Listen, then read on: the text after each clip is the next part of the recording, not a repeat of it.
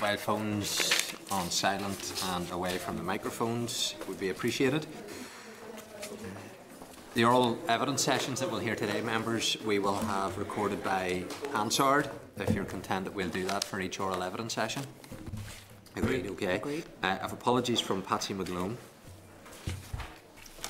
Okay, members are content then. The draft um, minutes of the meeting that was held on the 30th of January are there, and if members are content with their accuracy, then I will sign them accordingly.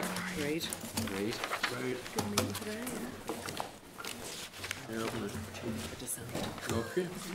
Not give them an opportunity for dissent. Uh, One matter arising, just the, deme- the department has written confirming the anticipated timings for the domestic abuse bill as set out by officials at the meeting on the 30th of January and offering a briefing session on the draft bill. The committee thought that that would be uh, helpful. Um, that was before, obviously, the committee said that we would write to the department expressing our concern about the length of time that it would take to bring the domestic abuse legislation to the committee. Um, I know the Minister is hoping to meet with myself and Linda on Monday. So if members are content, I will, uh, along with Linda, orally brief the concerns to the Minister about the time frame that the department are proposing. And then we'll bring that back to the committee next Thursday um, to provide an update and then we'll take it from there. Okay. Item four then is an overview briefing on the Courts and Tribunal Service and if officials want to come um, forward to the table, Peter Luney, the Chief Executive um, of the Courts and Tribunal Service. It's pages 14 to 16 of your meeting pack and also pages 3 to 25 of your table pack members are the relevant uh, papers. I know we touched on some courts issues with the statutory rules um, on Tuesday. Um, Peter was able to talk us through that. So, um, Peter, I'll let you introduce your team. Save, Sure. save repetition, but you, you are all very welcome. And um, at the when you finished introducing your team, if you want to, to give a brief overview, and then we'll, we'll move to questions. Absolutely. Thank, Thank you, you, Chair. Uh, grateful for the opportunity to come to the committee today to brief you on the work of the Courts and Tribunal Service. Uh, I'm joined by three senior colleagues. I've got Elaine Topping, who's the Head of Court Operations, Gillian McLaren, who's the Head of Tribunals and Enforcement Division, uh, and Sharon Hetherington, who's Head of Modernisation. Uh, in making my opening remarks today, I want to provide some background briefing about the service uh, before saying a little bit about our priorities, challenges and opportunities. As the committee will know, the uh, Courts and Tribunal Service is an agency of the DOJ, comprising around 700 staff working at 19 venues across Northern Ireland. 90% of our staff work in frontline posts, administering around 100,000 cases per annum uh, across all our business areas. We have a forecast annual expenditure of around £79 million, with £4 million of capital. Uh, and through the Court Funds Office, we manage over £300 million, which is held in court on behalf of some of the most vulnerable members of our society. We support 15 tribunals of various sizes, and we provide administrative support for the Parole Commissioners and the Planning and Water Appeals Commission. We're also responsible for the Enforcement of Judgments Office, which is a central facility for creditors seeking to enforce civil judgments in Northern Ireland. Our business plan sets out our strategic objectives, and in delivering those objectives, whether through administering our routine business or through the implementation of our modernisation programme, our priority is to deliver high quality services that meet the needs of our customers. Turning briefly to the challenges that we face, budget uncertainty remains a concern. Over the last few years, the DOJ has faced some very difficult and challenging times in respect of funding. And like other parts of the DOJ, the Courts and Tribunal Service has faced significant austerity cuts. Since 2010, we've seen a reduction of 9.7 million in our funding allocation, while at the same time we've had to deliver a further 10.5 million of savings to meet inflationary and other in-year pressures. This year we received a flat cash settlement from the department, which was a welcome outcome given the magnitude of internal pressures, and we received additional in-year funding for specific new functions or pressures, including legacy inquests, the substance misuse court, our modernisation programme, and changes to pension contributions. After many years of austerity, we continue to face financial challenges. While we anticipate being able to live within this year's budget, we will work closely with the Department to set a budget for next year and future years. In order to facilitate a more strategic approach to planning, it is important that we move away from uh, the one-year budget cycle to a multi-year approach which will encourage a longer-term view to be taken. Maintaining our court estate is also challenging. There is a need for capital investment, not least in the North West, where Derry Courthouse is more than 200 years old. Recent failures of the heating and electrical installations in the Royal Courts of Justice will also require considerable investment to address uh, and uh, emphasises the need to look strategically at how and where we invest our, uh, in our future estate. The Courts and Tribunal Service has delivered a significant amount of change in recent years, and I'd like to highlight briefly a number of reforms or new business areas which we've implemented or are currently taking forward. Speeding up justice is one of the biggest challenges facing the justice system and is a priority for the Department. The speed that cases progress uh, is, uh, matters to victims, witnesses and parties generally, and we're committed to supporting this work through the introduction of case progression officers to support the effective management of cases in the Crown Court and by supporting the implementation of committal reform. We've supported a pilot to identify uh, and tackle causes of delay in care proceedings in the family court, and we're working with the judiciary to pilot the use of civil hearing centres to better manage civil business in the county court. As part of the DOJ's problem-solving justice portfolio, we worked with probation and other partners to establish a substance misuse court in Belfast in April 2018. The aim of the pilot was to specifically target individuals whose offending behaviour is driven by drug and or alcohol misuse and to provide them with support to tackle the root causes of their offending behaviour. Acceptance onto the pilot programme was by way of clinical assessment uh, and predicated on a guilty plea at the outset. It was open to 50 clients and ran for 15 months. The initial evaluation has found a significant improvement in abstinence as well as a reduction in reoffending and the likelihood to reoffend. The evaluation also made a number of recommendations to improve the model and the, these have been incorporated into a second phase of the pilot which started in uh, July 2019. In February 2019, the DOJ announced an initiative to speed up legacy inquest arrangements and to deal with the outstanding cases. The initiative supported a significant expansion of capacity to clear outstanding legacy inquests and allowed for the implementation of reform proposals developed by the Lord Chief Justice. The Courts and Tribunal Service has established a legacy inquest unit to support the delivery of the LCJ's plan. The unit has a complement of 32 legal, administrative and investigative staff. In order to facilitate the preparation and hearing of legacy inquests, we will make facilities available for the digital sharing and presentation of evidence as well as other investigative software. There are currently 44 outstanding inquests relating to 71 deaths which have not yet been commenced uh, and which will be listed for hearing during a period of five years from April 2020. There are currently seven inquests at hearing, including those relating to the events at Ballymurphy in 1971.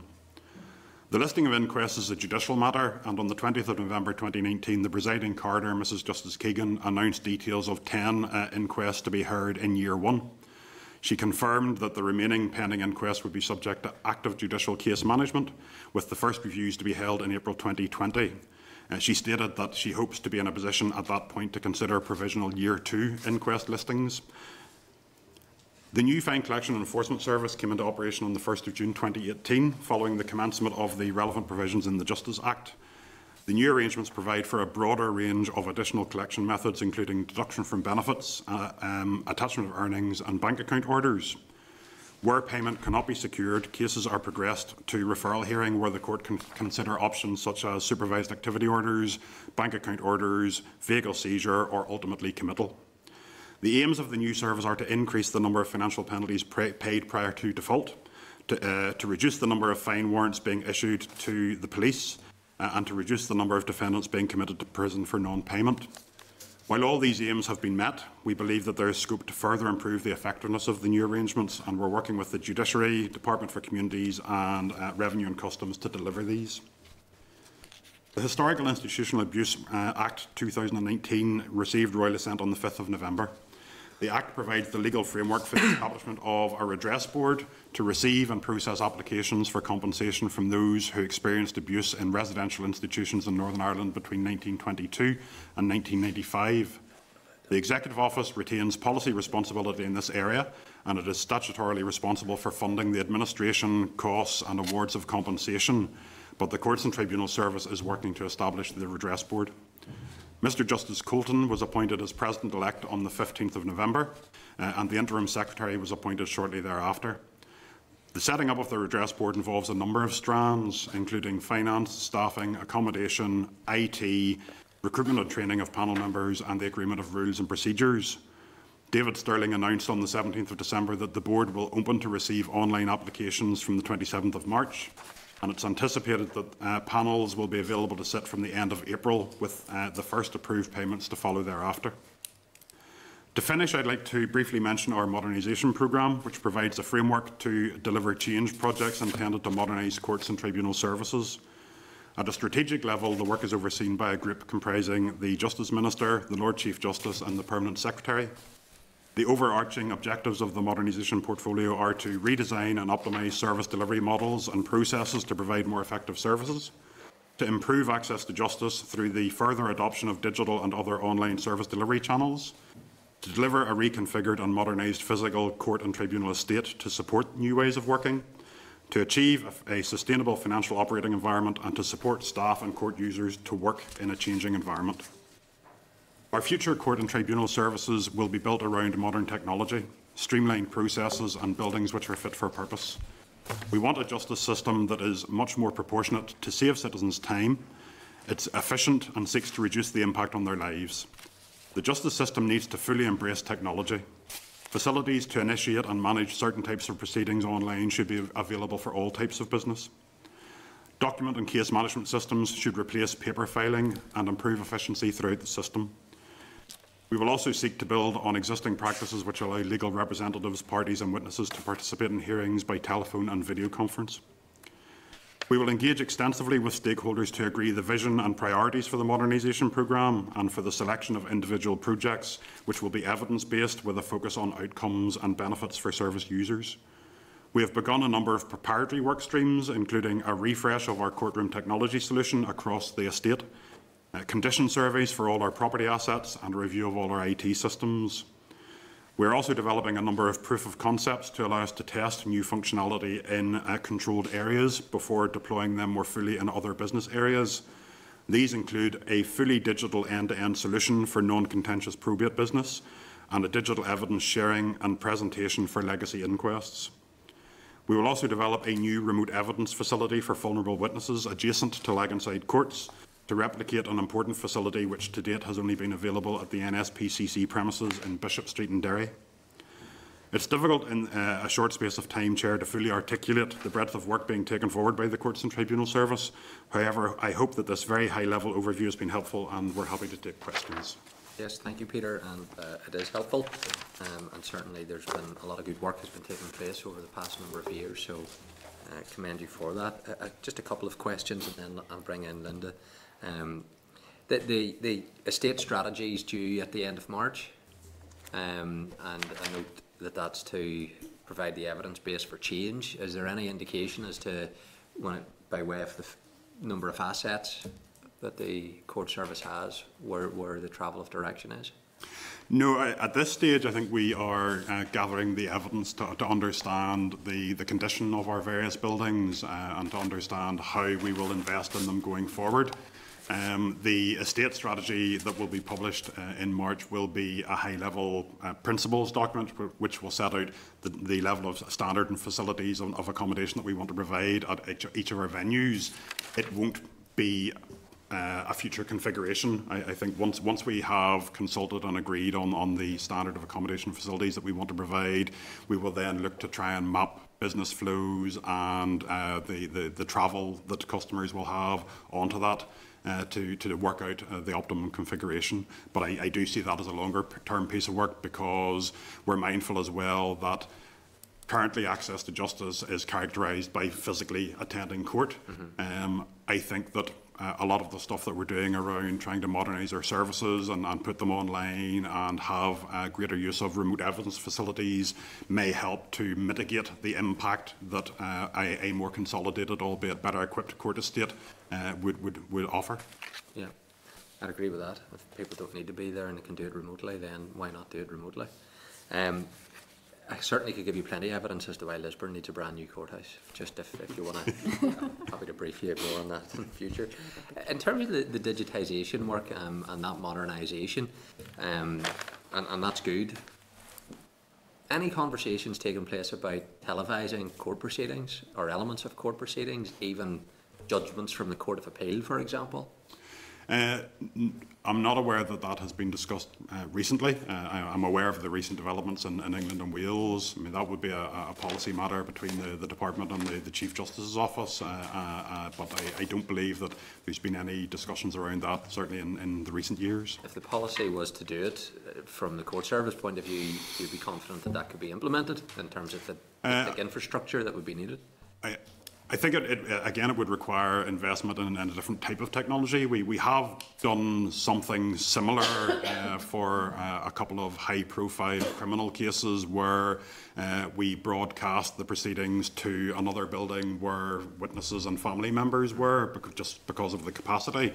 Um, so, so broadcasting uh, can be done, uh, but, but broadcasting for media purposes again would just need to be. We'd need to work through the, the structure of that. And how have you found the, the IT improvements in terms of actually improving the overall delivery of the service? Um, at the minute, they, we're working on the, the re- refresh of, of courtroom technology, uh, and, the, and the main benefit of that for us is that um, we, we have uh, experienced a number of occasions where perhaps uh, uh, evidence from a vulnerable witness is brought in on a DVD or on another device, and then whenever it, they, they seek to use it, it's incompatible with the system or the, the audio isn't particularly clear. Um, and, and I think that has resulted in cases perhaps unnecessarily being adjourned. Um, the, the new solution that we're putting in place will be uh, much more flexible. Um, when combined with the in-court Wi-Fi solution, it is what's called techn technology agnostic, which means that uh, if, if the prosecution or the defence come in with any device using any type of software, they will be able to log securely onto the courtroom uh, audio-visual equipment and, and there will be no issue about compatibility. So from that point of view, we expect to, to see significant improvements in, in reliability. Um, however, one of the other things that we wanted to do, as I said in the opening, was to, to look at uh, creating a, a new uh, remote witness suite uh, just beside uh, Laganside courts to, to do the same as we have in, in the NSPCC offices in Derry. That was one of the recommendations that came from Lord Justice Gillen's review of, of sexual offences, uh, and we're very keen to try and push that forward this year. That, that will be built into our accommodation in court service headquarters. Okay. Well, I covered the, the income issue and the financing of the organisation on Tuesday in terms of the, the fees and, and the moving to full cost recovery, so I don't intend to, to go over that ground with you, so. Linda? Um, Just, I don't only have sort of one quick question, just in relation, relation to the HIA, the redress board. I know that, um, we had, and I think Paul had asked questions in relation to this too, TEO have said that they will be financing that in terms of, and have you got assurances in relation to that? Because that will be a concern that within departments where one department is promised from another department that there will be finance coming, that that then, for one reason or another, is not forthcoming. So just wanna sort of gauge what kind of guarantees, because obviously this is something the TEO has to deliver on. Um, it's something that I certainly want to see delivered, and I'm, I'm delighted to see that it's moved on so quickly, and, and the justice actually have, have moved so quickly in terms of putting somebody in place and, and trying to get everything. In, in relation to the, the funding, the, the duty on the Executive Office to provide the funding, to provide grants to the nominated department is contained in the legislation, so it, it's, it's probably as, as secure as it can be. Okay, thank you. Paul? Yeah, Just on that, um, so the actual setup of the redress panel, the management, the management of it, the organisation of it, and the basic apparatus of it moving, uh, is that executive office? No, the, the, day-to-day operation of the, the redress board will, the, the redress board itself under the legislation is a body corporate. Yes. Um, but on a day-to-day basis, the, the, the, the management of that will be done by courts and tribunal service just because of our familiarity of, of working with, with those kinds of structures. Um, the interim secretary was previously the, the, the head of tribunals and enforcement division and, and I asked him to move across to, to lead on establishing the, the redress board uh, and certainly um, the, the staff that have been deployed to it to date, a lot of them have come internally from, from courts and tribunal service uh, and we're waiting for the remaining posts to be filled externally. Um, so so no, we, we will be leading on it on a day-to-day basis. And you will pay their wages? Yes, and, and again, invoice that back to, to the where executive office. Uh, the redress board is going to be based in Headline Building, um, and the panels will do their work in headline building. It's anticipated at this stage that uh, the assessment of, of, compensation applications will be done on the papers, although there's, there's provision under the legislation for uh, an oral hearing uh, uh, in exceptional circumstances, if, if that is appropriate. Um, we believe that we can accommodate three panels sitting simultaneously in, in headline building, so that's, that's the, the approach that we're taking at the moment. And do you expect that money to come out of existing budget, or is this part of the play with regards to the new deal, new approach, new approach, new deal, no. whatever? Uh, well, I, I expect the, the, the money to come from the executive office. Um, I think there is, there's a conversation for the executive office to have with, with uh, finance and treasury about where that funding ultimately comes from. But from our point of view, we will invoice uh, regularly the, the executive office for costs and outlay. Oh, so, so I'm clear, you pay the staff and you pay the management of the redress board? Then you expect to get that invoice back? We bill it, we bill it back to the executive office and, and we will put arrangements in place to ensure that both the, the invoicing and the, um, the forecasting is, is done uh, regularly so that there can't be any end of year surprises. Okay, just so you know, uh, information, I have a question into uh, executive office question time on this issue, just for your own interest. Chair, can I just ask then about the court estate? Uh, and I was worried there, very Just nervous. before you do, Linda wanted to, a wee Yeah. follow up on the HIA and then I'll come back to you. Certainly, yeah. It was just in relation to the, the staffing issue there, where- where obviously you, you pay the staff on TO. So what about the backfill then? Because obviously if you've taken staff from somewhere else and put them into those positions, there, ha- there has to be backfill. Is that, is that balanced out as long as TO pay for the staff that you've moved, I'm assuming? What is, I mean, with, the, the staff that we've put into place so far was really just so that we could hit the ground running in terms of preparation. Um, but we, we do have a number of schemes running to, to fill the post substantively.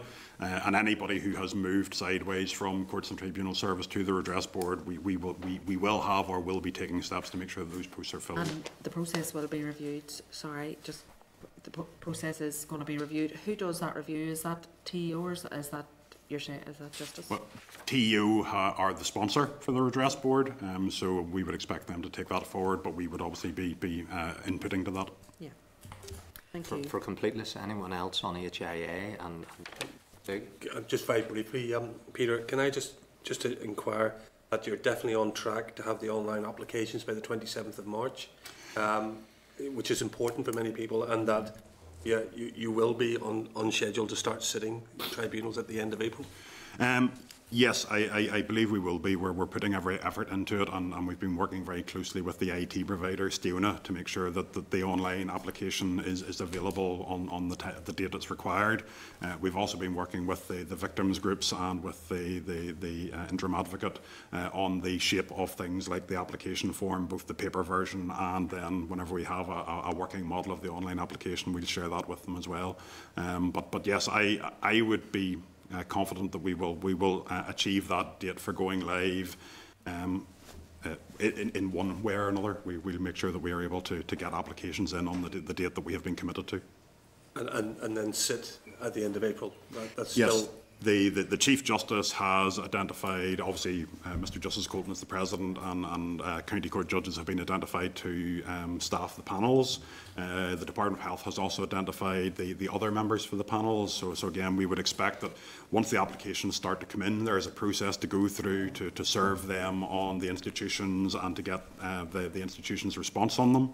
Um, and then once that has been done, they will move forward to, to uh, determination. So the panels, the panels will be available to do that. And if I'm going to ask Peter, and, and through the chair, if there is a delay in that, in applications or sitting for the first time, can we ensure that we're made aware of that, that there's going to be that delay? Yes. Gordon, just a Yeah, minute. just on that, thanks Peter for your presentation. What type of person are you looking for in relation to qualification, experience and competencies for the redress board? Are the legal reps or?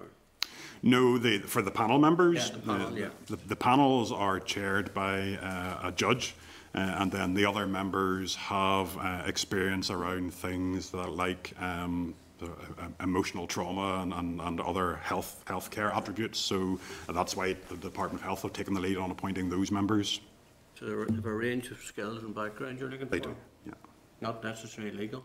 No, no, the, the, the judge will be the, the legal member of the panel and they will be supported by um, lawyers, um, but that's just in terms of managing the claims and, and um, uh, uh, pro- providing provisional recommendations around And the how would assessment. sit on, on a board, do you? There's, there's three per panel. Uh, there's the, the judge and two other members per panel, uh, and we hope to be sitting with, with two to three panels uh, from, from an early stage. Similar to benefits and so on? It is, yes, it's similar to, to the TAS structure.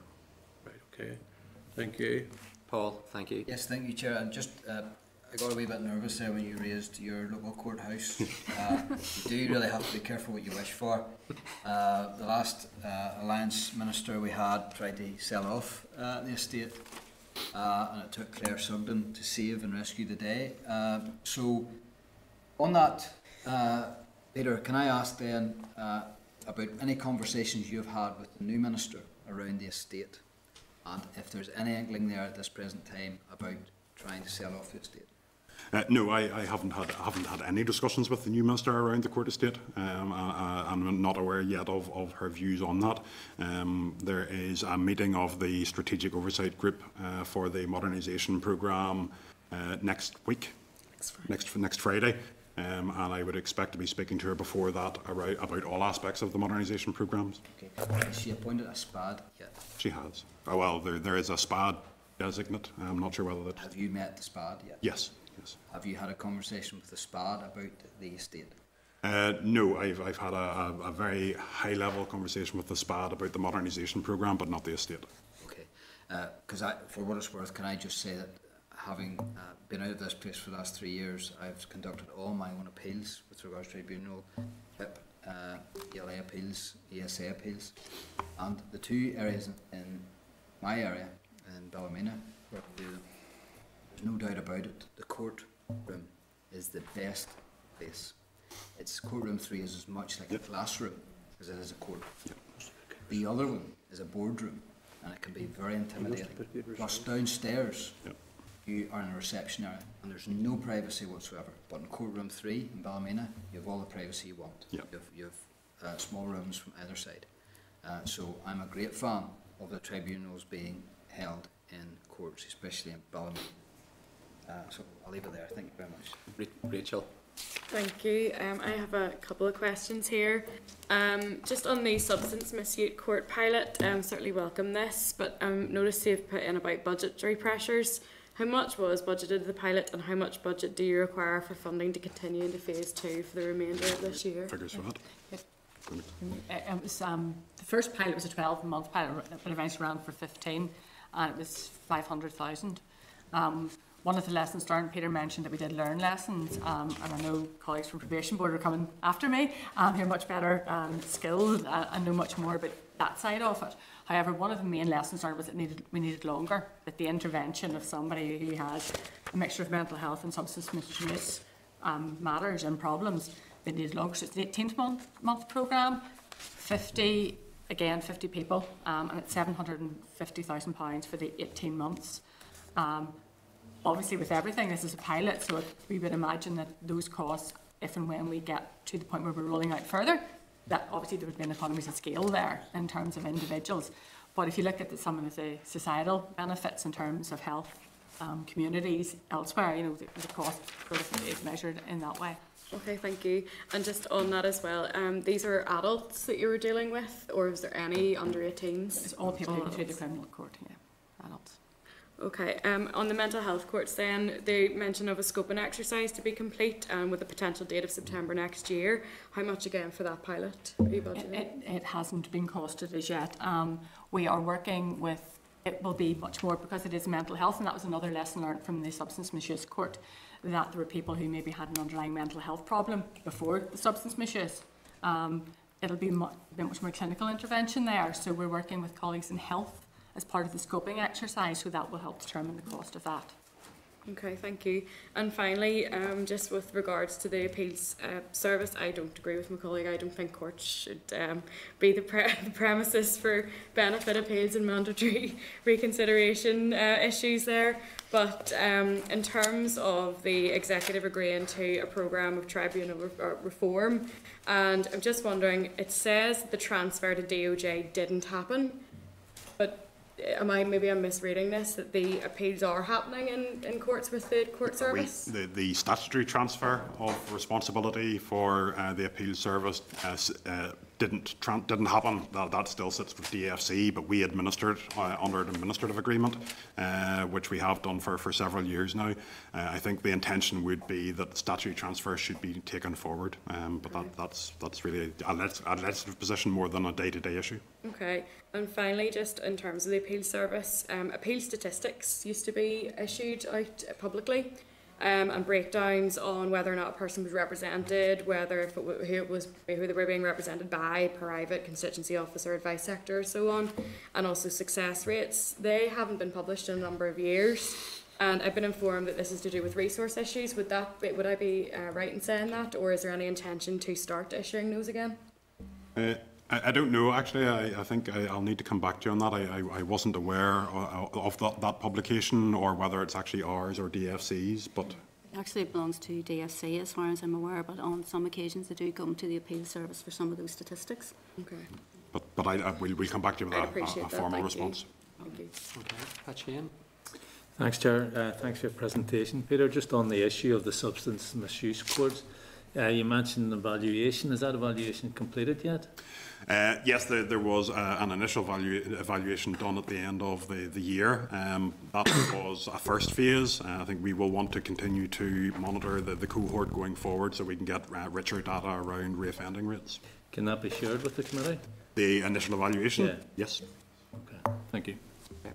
You, Gordon Dunne? Yes, thanks very much, um, Chair. Peter, you mentioned case progression officers. Is that, are they new posts? Uh, no, we, we have had the, the rule before, um, but uh, there was there were certainly questions about the, the effectiveness of it in its original form. Uh, what we've done uh, as part of the the new uh, wor- work on speeding up justice is we've revisited the rule. Um, we've talked with partners uh, in PPS and police about how we can make it more effective. Uh, and by way of a pilot, we are now using that facility in, in three Crown Court venues. Uh, and again, subject to that being successfully uh, evaluated, we would uh, see that rolling out to, to other, other areas. And is this part of the Speeding Up of Justice initiative? Yeah. Yeah. And who do they liaise with? The, the officers? Uh, they they have their counterparts in PPS. Our, our officers in the court service have their counterparts in PPS uh, and also then with the, the PSNI, just the, the investigating officer. Uh, and the rule would be to uh, review the, the cases that are coming forward to, to make sure that actions that, that were previously identified have been completed. Would they contact the legal reps On, on the defence side, Yeah, yes, yes, they would. Yeah. to chase things and obviously Yes, yes, progress? they would. Sounds a good initiative. It is. I mean, I think um, No, I think we're all aware of the delays and the frustrations that there are out there in relation to We, we, we know that with, without the case progression officer rule, we, we know that there can be a, a tendency for cases to come back round for a further case management hearing, only to discover that, that certain tasks that were, were directed haven't been completed. So if we can, if we can deal with that all uh, in the margins, uh, it means that, that the, the time in the courtroom is more meaningful and used more productively. Do they have um, target dates or key performance indicators to work to in relation to cases? The Lord Chief Justice issued a new practice direction or a revision of the previous practice direction, and that has set deadlines for all parties within it. And that was one of the things that might have been missing. Peter mentioned in 2010 Yeah. we had a similar rule, uh, as well as the fact that it wasn't replicated across all of the organisations. That was kind of one of the things that was really missing there. Um, a, a strong judicial lead, and that has that issued in November. Um, so that has set out everybody's role and key response times. Um, and one of the other factors that um, Peter was talking about, we mentioned that delay, legal aid and, and queries around legal aid would be another aspect that has come out of this new pilot that the case progression officer is able to address more directly um, with legal aid services in advance of, again, the hearing and maybe um, that way maybe cases would be adjourned. But it is early, it is early and it's still in the learning and we're going to evaluate now, again, independently at the end of this financial year. Would the plan be to, to build on that in relation to progression officers? Um, DOJ, I I had a meeting with DOJ, it's sponsored by DOJ because it's part of speeding up justice, but in a, a meeting with the department only at the end of last week, they're very keen, subject to the evaluation being as positive as Yeah. the interim evaluation would lead us to be, to um, roll out and look at extension. Good, okay, thanks very much, thank you. Yeah, very, very quick one. Peter, I'm struck on something you said. Can I ask the question, how often are court cases adjourned because of the built form and the apparatus within, compared to the natural process of court Uh, How often are they adjourned? How often are they adjourned because of the built form? Problem with the building or a problem with the sound? Or Um, compared to the natural process, procession of court cases? I don't know that we have uh, figures around that. I think anecdotally, I, I would get word back if, if a case has been disrupted as a result of, of either incompatibility or equipment failure. Um, it, it's not it's not particularly common, um, but, but on that individual case, it is very impactful. I mean, if you have Yeah. vulnerable witnesses coming, it is something to be avoided at all costs. We, we do have uh, a Crown Court evidence protocol which was drafted years ago, which, which provides for um, pre, pre uh, hearing testing. And the idea is that the parties will come along and test all the functionality beforehand, check that the, the, the, the evidence plays. Um, that's not always done, um, but, but uh, I think the, the new the new technology solution will will avoid the need for that. Okay, thank you, Chair.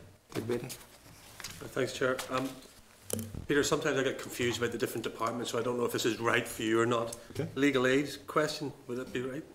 No.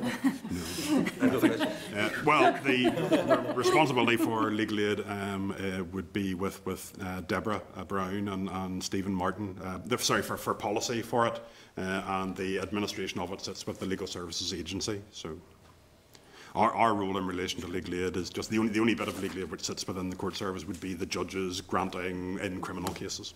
Okay, so, so, okay, so let me, let me exploit that then, if that's, if, if that's the case, because the Northern Ireland Legal Services um, Commission legal uh, bill has, has been qualified for the year 1819 again, hasn't it?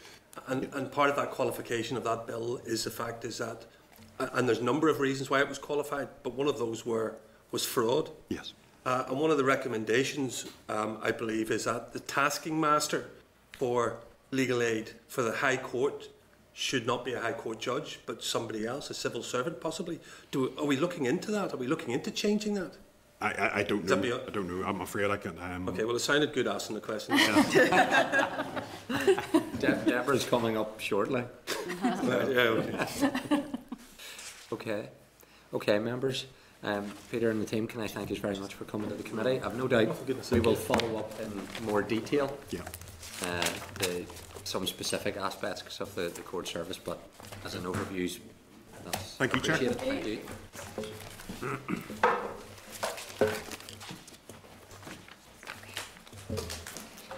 Okay, members, um, the next item is then the overview briefing on reducing offending. I will invite the team to come up.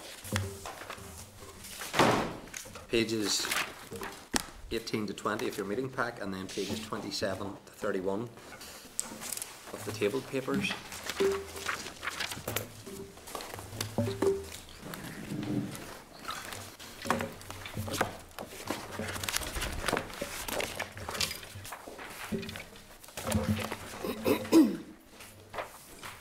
So can I welcome Ronnie, um, who's Director of Reducing Offending Directorate within the department for the meeting. Um, let me introduce the rest of your team, just in case, I, maybe you are the overall boss of this directorate, Ronnie, are you? Um, well, I'm the director of that. I'm the director of reducing offending, but uh, reducing offending is about much more than um, Just your directorate? My directorate, and that's why today I brought with me colleagues from Well, across the in- uh, I have, I know who they all are, but I'll let you introduce them for me. Okay.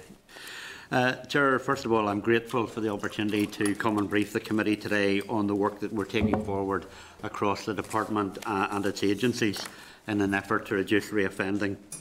I'm joined today by Paul Dornan, who's the Director of Rehabilitation in the Prison Service, by Declan McGeown, who's the Chief Executive of the Youth Justice Agency, and by Dr Geraldine O'Hare, who's the Acting Director of Rehabilitation in the Probation Service.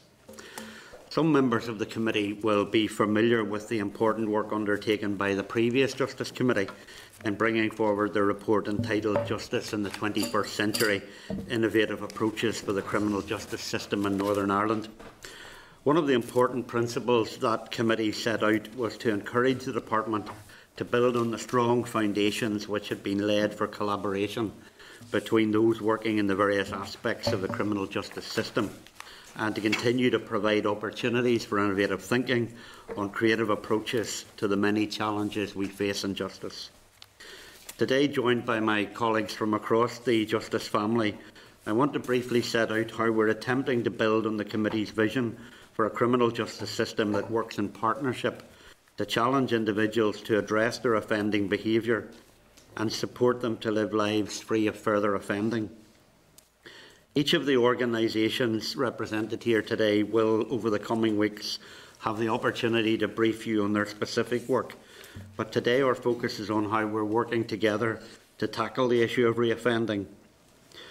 Our aim for the department or agencies, our NDPBs and other partners, particularly those in the voluntary and community sector, is to align activities, support rehabilitation, improve outcomes for offenders and ultimately build a safer Northern Ireland through a long-term reduction in offending behaviour. Evidence shows that it's only by working with those who offend that we can make communities safer and reduce future harm to victims. However, the criminal justice system on its own, as the committee acknowledged in its report, cannot provide the knowledge, expertise or access to the services needed to truly reduce reoffending. There are a range of socio-economic factors which have been shown to have an impact on reoffending, including poverty and social deprivation, mental health issues, substance misuse, homelessness, and a lack of educational attainment and employment opportunities. To give some context, of today's prison population, one third have mental health issues prior to entering custody. 21% were homeless or living in a hostel. Two thirds believe drug or alcohol contributed to their offending, and 55% of those in custody have a history of self harm. These factors contribute towards the reasons why people become involved in crime in the first place, and they are often exacerbated through contact with the criminal justice system, leading to a cycle of offending which causes significant harm to victims and communities. Addressing reoffending not only means tackling these issues, but also creating positive connections back into supportive families and communities so that they become enablers of change. Within the broad category of people who have offended, there are particular groups who have additional needs and so require further support in specific areas in order to address their offending behaviour. One such example is children, whose offending is often a manifestation of underlying issues, such as problems within the family home, disengagement from the education system, poverty and social exclusion. Likewise, women who offend often face similar challenges such as a history of suffering from domestic and sexual violence. And so a gender specific approach to reoffending is needed to support them. I want to be clear today, both in taking this approach uh, requires major and sustained effort from across a partnership of government departments, statutory agencies, the private sector, the voluntary and community sector, and wider society, and that this is not a soft option. Addressing the underlying causes of offending often involves opening up aspects of the past that are deeply uncomfortable and painful, as well as giving people skills and ability to behave differently now and into the future. We also need to be realistic. Not every offender will desist immediately as a result of this approach, but the agencies represented here today believe strongly that we need to go beyond punishment for the crime committed to tackle what caused that offending in the first place. For every person who acts to turn their life around, there's multiple benefits, both in terms of the useful contribution that person can make to society going forward and in reducing the risk of creating further victims of crime. In order to reduce reoffending, the Department and its agencies have applied the core principles set out in the strategic framework for reducing offending and are taking on board the findings and recommendations contained in the committee's report. Our approach has been based on adopting a welfare-based rather than a punitive approach to children engaged in offending behaviour. Working together with the Department of Health, the Youth Justice Agency is developing a joint multi-purpose care and justice campus to provide a short-term safe space at one end of the spectrum through to longer-term high-intensity therapeutic support for children with serious issues relating to mental health, substance misuse and childhood trauma. The Youth Justice Agency is also developing a new model of practice based on the child, sorry, the child first offender second approach, including a focus on adverse childhood experiences, trauma-informed practice and signs of safety. Problem-solving approaches. Probation are playing a key role in the development and delivery of problem-solving approaches as a means of dealing more effectively with the root causes of offending behaviour in a range of areas including both domestic abuse and substance misuse and an enhanced combination order which aims to divert offenders from short-term custodial sentences by offering the judiciary a community order with a more intense package of rehabilitation, reparation, restorative practice and desistance. Probation are also undertaking early scoping work around the development of a mental health court, as you've heard already today. Probation are also engaged in the development and the delivery of innovative approaches, including social enterprises aimed at improving the resettlement and rehabilitation outcomes for people who have offended. This includes resettlement mentoring schemes and restorative practice interventions in partnership with the community and voluntary sector. The Department and its agencies are also working to reduce reoffending uh, in a partnership, uh, the Reducing Reoffending Partnership, aimed at managing offenders who are at a high risk of offending and reoffending and who were causing significant levels of harm within their community. Restorative Justice Reducing Offending Directorate is leading on efforts to extend restorative principles to the adult justice system through the delivery of an adult restorative justice strategy. In addition, we are also working to develop a centre of excellence for restorative practice. Addressing the complexities of accommodation needs of offenders. Having a safe place to live is one of the most important factors contributing towards someone moving away from offending behaviour. Working together with the Department of Communities and the Housing Executive, we are working to improve the support offered to offenders on their return to the community. In addition, we have undertaken scoping work in advance of developing a strategy on accommodation. Improving access to and opportunities for education and employment. Increasing access to the readiness for employment amongst those who offend and ensuring that they are able to apply for jobs once they leave the justice system makes it much more likely that they will have the needed stability in their lives to refrain, refrain from further offending. We are working with the Department of Communities, Education and Economy to address economic activity amongst those in the justice system. Improving health provision in criminal justice system. A high, a significant, uh, sorry, a significant number of offenders have underlying health needs. The Department of Health and Justice are working to improve health outcomes for people in the criminal justice system, in particular collaborating with social care professionals to improve services for people in the prison service, uh, delivering a renewed person-centred approach to supporting people at risk of suicide and or self-harm. The committee in its 2016 report recognised the increasing importance across government and society that providing early intervention and support to individuals, families and communities and intervening early before problems become entrenched in the most effective route to uh, positive outcomes in adult life. We are currently working across the justice system to deliver a coherent approach to early intervention with the aim of creating a long-term whole systems approach in collaboration with wider government departments, criminal justice agencies and the voluntary and community sector. And finally, the focus of the prison service in its 2020 programme is on ensuring rehabilitation and is at the core of all that it does, so that it may effectively contribute to reducing reoffending. In order to achieve this, a programme to continue the journey of constant improvement within prisons has been developed in collaboration with our justice partners. In terms of reducing reoffending, this has included, amongst other matters, the recent development of a strengthening family relations strategy the reintegration of probation staff within the prisoner development units, and the current development of a new justice-wide gender-informed strategy to support and challenge women, including girls in contact with the justice system. The Department has also been engaged in work led by the Safeguarding Board for Northern Ireland to develop ACE-aware and trauma-informed systems in conjunction with colleagues across education, social care, health and the community and voluntary sector. Within Justice, we are working proactively to, to create the best environment to mitigate the re-traumatisation of individuals who come in contact with our system.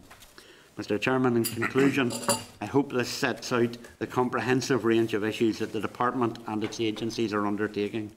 Naturally, be happy to take questions uh, from you and to provide any clarification that may be required. Okay, thank you, Ronnie, um, for giving that uh, overview.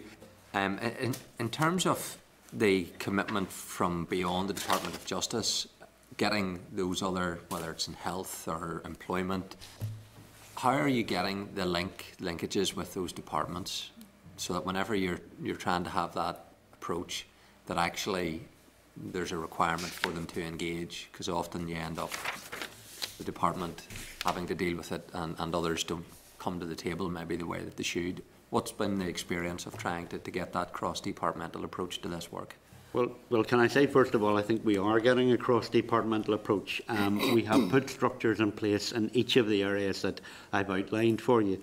Um, and if you take, for example, homelessness or uh, some of the other health issues, um, we now have structures in place that bring our colleagues in to work alongside us in a, in a committee format, I suppose. Um, and we are seeing, uh, you know, collaboration um, and we're getting the support, I think, at this point that, that we require. But there's still much more to be done. Who, who leads on that then? So whenever, uh, take health for example, I know within the prisons for, as an example, whenever there's a need, a need identified uh, and someone says, right, this is what is required, whether it's physical resource or financial resource, and these are the programs, who's the ultimate decision maker that then triggers the other departments providing that support? Well, we now have in place a, a strategy group which I jointly chair with a Deputy Secretary from, from the Department of, of Health, um, and that brings together a range of organisations. Um, and that work has been overseen uh, in the absence of the Assembly by the two permanent secretaries. Um, so it's through that mechanism that we can, uh, we can make things happen and we can encourage uh, the development of initiatives and, and programmes. In terms of the, the staff then, because obviously um, it's not without its challenges whenever you're engaging in this work, um, what kind of support is provided then to ensure that the staff and all of these different organisations have the kind of resilience that they need? They're, they're dealing with difficult cases. It can be emotionally, psychologically, and physically demanding uh, as well. So, what's the support that's put in place for the staff that's engaged in this work? Well, I mean, the different organisations um, can, can answer for themselves, but I would say, Chair, that we take the well-being of our staff extremely seriously. Um, and we are working, for example, in the prison service um, at different levels in the organisation to, to provide the support uh, that staff need from, from governors uh, through the organisation. Um, and where there are specific needs, um, staff have access to counselling opportunities, for example, uh, that can give them additional support should they should they require them. I don't know if, if anybody else wants to comment, but yes. So within probation, um, we use external support services through uh, counselling services, but also what's really important for our staff within probation is the whole health and wellbeing. We have um, uh, strategies around improving that and ensuring that staff uh, operate and deliver safe and effective practice. And I suppose the important thing around that is um, is the supervision of staff to ensure that staff are being appropriately supervised and managed, and that are not working outside of uh, you know their area of, of expertise, etc. So there's a, there's a big investment from probation in terms of the well-being of our staff, just as Ronnie has mentioned. And in the prison service, um, one of the four pillars of our Prisons 2020 document is our people. We recognise that without people we can't do anything. And um, a very innovative Prisons Well project has been commenced under Prisons 2020, which has been well received by staff, although it remains a challenge. Um, I think another issue is, Chair, that um, we're aware now more and more of the impact of adverse childhood experiences on people who come into our care. And I know a number of the parties, including your own, have, have taken an interest in this. But equally, that implies to our staff. So our challenge, I think, is to build resilience in our staff. So as well as training people to become aware of adverse childhood experiences, we've also been exploring ways to develop that resilience within prison staff. And again, Chair, for the Youth Justice Agency, first and foremost our staff on the front line s- either social work or youth work trained. So they've gone through extensive training. We overlay that with a training programme that's quite extensive for our staff and to make sure of the staff well-being. We provide a well-being strategy there for the staff too to make sure that, that their well-being is, is, is as it should be. And in, all of the work to try and reduce offending, is there a baseline figure that you're able to measure this against um, so that you know progress is being made?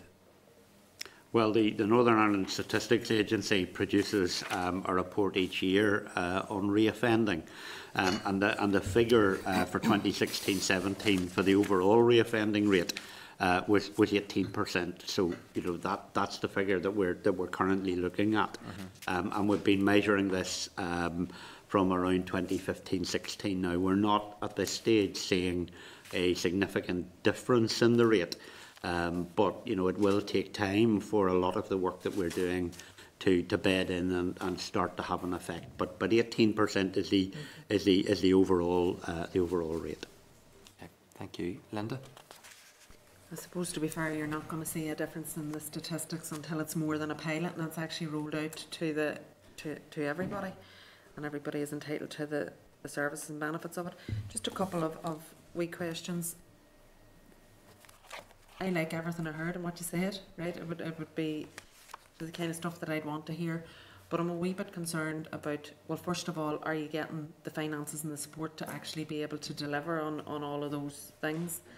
And secondly, are there some and this is particularly for I suppose the, the prison service, are there some that are not getting that same service in terms of that, you know, that it's about looking after them, it's about re-educating them, it's about ensuring whenever they come out that they don't reoffend. And when I, when I talk about some, I'm probably speaking specifically about Roe House because I've had some issues. Re- I'm very new to the committee, so a lot of this is new to me. Um, but I've been contacted already in relation to that, and, and not by families, actually by legal representatives who were not happy with what they were seeing in there and had some concerns. So, I mean, obviously part of our, our, our work here and the, the work that's coming onto the executive is, you know, tackling the paramilitarism and we're not going to deal with that unless we deal with every single aspect of it. Um, and our, our prisoners are part of that. And we need to look at are, are we actually equipping them that whenever they are released, that they are able to see that there are opportunities out there for them, that there's a different a different life that, that is open to them. I'll, I'll ask, I'll you answer those first. I have one or two other small questions. Um, um, if I can deal with the Roe House issue first, um, I, I would say that yes, we are addressing those issues. Um, if you look at our Prisons 2020 document, um, you will see reference under uh, the, separate, uh, the services pillar to separation, um, and we are very committed to enhancing the provision that is, is in place both in the Loyalist and in the Dissident Republican uh, units within Bush uh, and Roe House. We are currently implementing a report that was completed for us last year um, under the Fresh Start Agreement in relation to education and training for separated prisoners.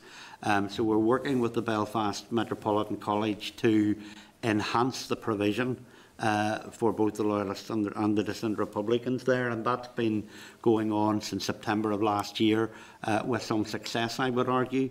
Um, we have also put in place a, a very robust programme in terms of purposeful activity, where we've been bringing the GAA, the uh, IFI, uh, or sorry, IFA in, uh, and the Prisoner Arts Foundation, who are working uh, in those units as well. So there is a very full curriculum uh, that's now that's now in place, and I think that has progressed well over the past number of months. And I'll, I'll speak more about this next week when I'm here to talk about prisons. But but that that's certainly an answer to your question. Is I think yes, we are making progress. I, intend to actually inform myself and not just take it from others as well. But I just I, I wanted to raise the issue just because it had been raised with me. But I certainly will be looking into it further just to to inform myself about what's happening around that. Then just um, I forget what my other question was. Well, Pat, Oh, the the funding. Are you getting the funding and the the? To, sorry, I had. We- finished. The, okay. To be able to deliver on what you, you've talked Well, about. we, Are we have getting- received we have received the funding required to deliver the pilot projects that we're referring to in relation to problem solving justice. Um, we haven't got our budget, department hasn't got its budget for next year yet. Um, so we're, it's not clear. Um, we are committed to continuing with those pilots, but it's not yet clear what funding will be available to further expand on that until we until we get our budget. But certainly to this point, um, we, we've been getting the funding that we require for the for the pilots. Uh, just kind of one question to you, services. Um, you said that all, all those that work within your department are either youth service or social work trained. This is an issue I know that we had worked on um, previously, Health and the, the PSNI were working together on a number of issues and I had raised with them that those who are working with young people, many of them don't have youth service training and they're social workers. And social workers with the best will in the world, if they don't have youth service training, many of them are coming out of university and they're social workers for whatever they go into. So whether it's work, working with the older people, whether it's working with people with mental disabilities, whatever it is, that they don't have that specialist training and working with youth. And I think you need it because if you don't have that kind of training, working with young people becomes very challenging because you're not actually able to communicate with them in a way that they're that they understand that they appreciate. So, is are there any plans to? I mean, youth services would, I'm quite sure, be prepared to work with you in relation to this, in relation to doing some training of social work staff. I, I mean, I've worked with young people who are in care, and some of them said they had a better relationship with the police officers who were picking them up than the social workers who worked in the care homes. And obviously, a lot of these young people are going to come into contact with yourselves at some stage. Unfortunately, that's what the statistics tell us. And I think that comes back to the fact that they don't have youth service training and they don't understand the issues that these young people have. To reassure you, um, as I say, we made a decision as an organisation that any, any member of staff who came in directly into contact with children would be either social work or, or youth work trained. There's a blend of that, and, and certainly what we continually do as well is refresh and update the training and work with, with the experts, including youth services across the board. And, and we actually bring in experts from across the water and, all, and other places to come in and tell us what's best practice out there. Ronnie mentioned in his opening remarks about the model of practice, and that's developing a model of practice that's fit for the 21st century, and, and, and it's a model of practice that will underpin the repurposing work that, that Ronnie also mentioned in his opening remarks, and that's to make it fit for purpose going forward so that our staff interfacing with the young people have the right skills and, and the approach to work with, with the children with the vulnerable needs that they have. And you've heard, for instance, ACEs and, and um, trauma-informed practice, signs of safety, all of that is gathered up and, and, and is part of the model of practice. So to reassure you, our staff are very well trained and will continue to train to make sure that they, they've got the skill set for going forward and how the new dawn will look. Future, yeah. So, Yes. uh, thanks, Paul. Uh, Ron, I just wanted to ask you about the rates of suicide in prison. I suppose not just in prison, but there have been worryingly high statistics of uh, prisoners or former prisoners who have recently been released from prison taking their own lives. What sort of work's been done around that? Well, um, since 2015, there have been 22 uh, deaths in custody, um, nine of which uh, we believe have been as a result of natural causes. So that leaves us 13 self-inflicted deaths. We've been doing a lot of work in the prison service along with our colleagues in the South Eastern Trust to implement the Towards Zero uh, suicide programme, but also we have put in place a very robust uh, we call it SPAR Evolution Programme that's supporting people at risk. Um, and we're seeing uh, very significant reductions in the levels of self-harm uh, in terms of the prisoner population as a result um, of the work that, that we're doing.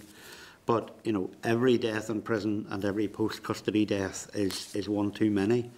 On the post-custody side, um, I've been in discussions with the prisoner ombudsman who investigates a post-custody death up to 14 days after the individual leaves prison. And we've been working with our colleagues in probation um, and the court service who were here earlier and a range of others to try and put in place uh, mechanisms that will support and ensure people are supported when they when they leave uh, when they leave custody. But there there is an issue sometimes when people leave the custody of the prison service where we have been working with probation and others to tackle the, their drug addiction, addiction issues.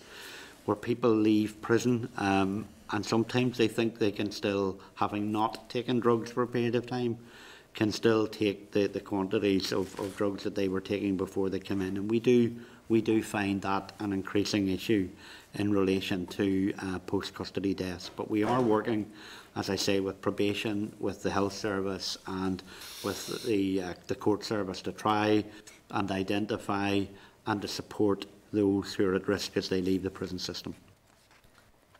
Can I say something? Um, just to follow up on that with Ronnie, it is a, a serious issue here in Northern Ireland. We have the highest rate of self-harm and suicides in the UK. Um, and as Ronnie says, there's, you know, significant causes of that. Um, and, you know, we see uh, people who have uh, self-harmed and uh, committed suicide as a result of constellation factors, but serious drug-related issues are, are very much high on, on that uh, agenda. Uh, in 2018, 2019, uh, we had 34 service users who um, died whilst on supervision. 14 of them were suspected drug overdose. So um, I mean, without getting into the debate about serious drug misuse in Northern Ireland, you know, we know what the problems are. We know that there's a serious rise in uh, the types of the opioids that people are using, the heroin, crack cocaine, and that's where we need to, to, to actually tackle the problem. Um, but, you know, as Ronnie says, our, our interface and our links with health and other agencies, the voluntary and community sector, when they're coming out of prison is absolutely critical and fundamental in terms of getting these people services and quickly.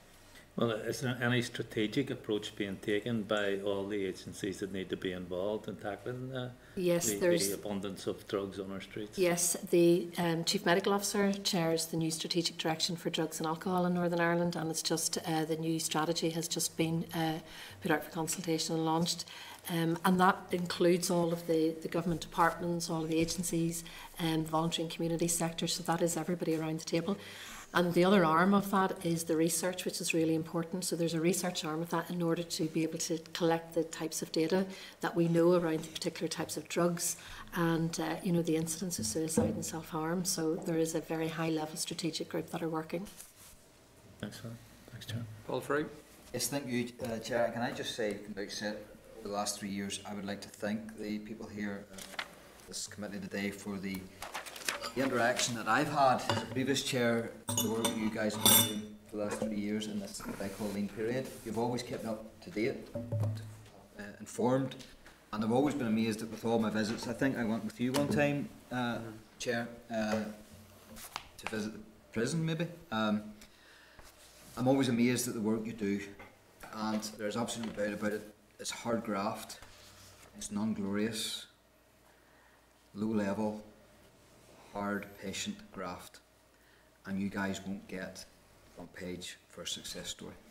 Absolutely not. Uh, in fact, you'll get the front page when something happens to go wrong.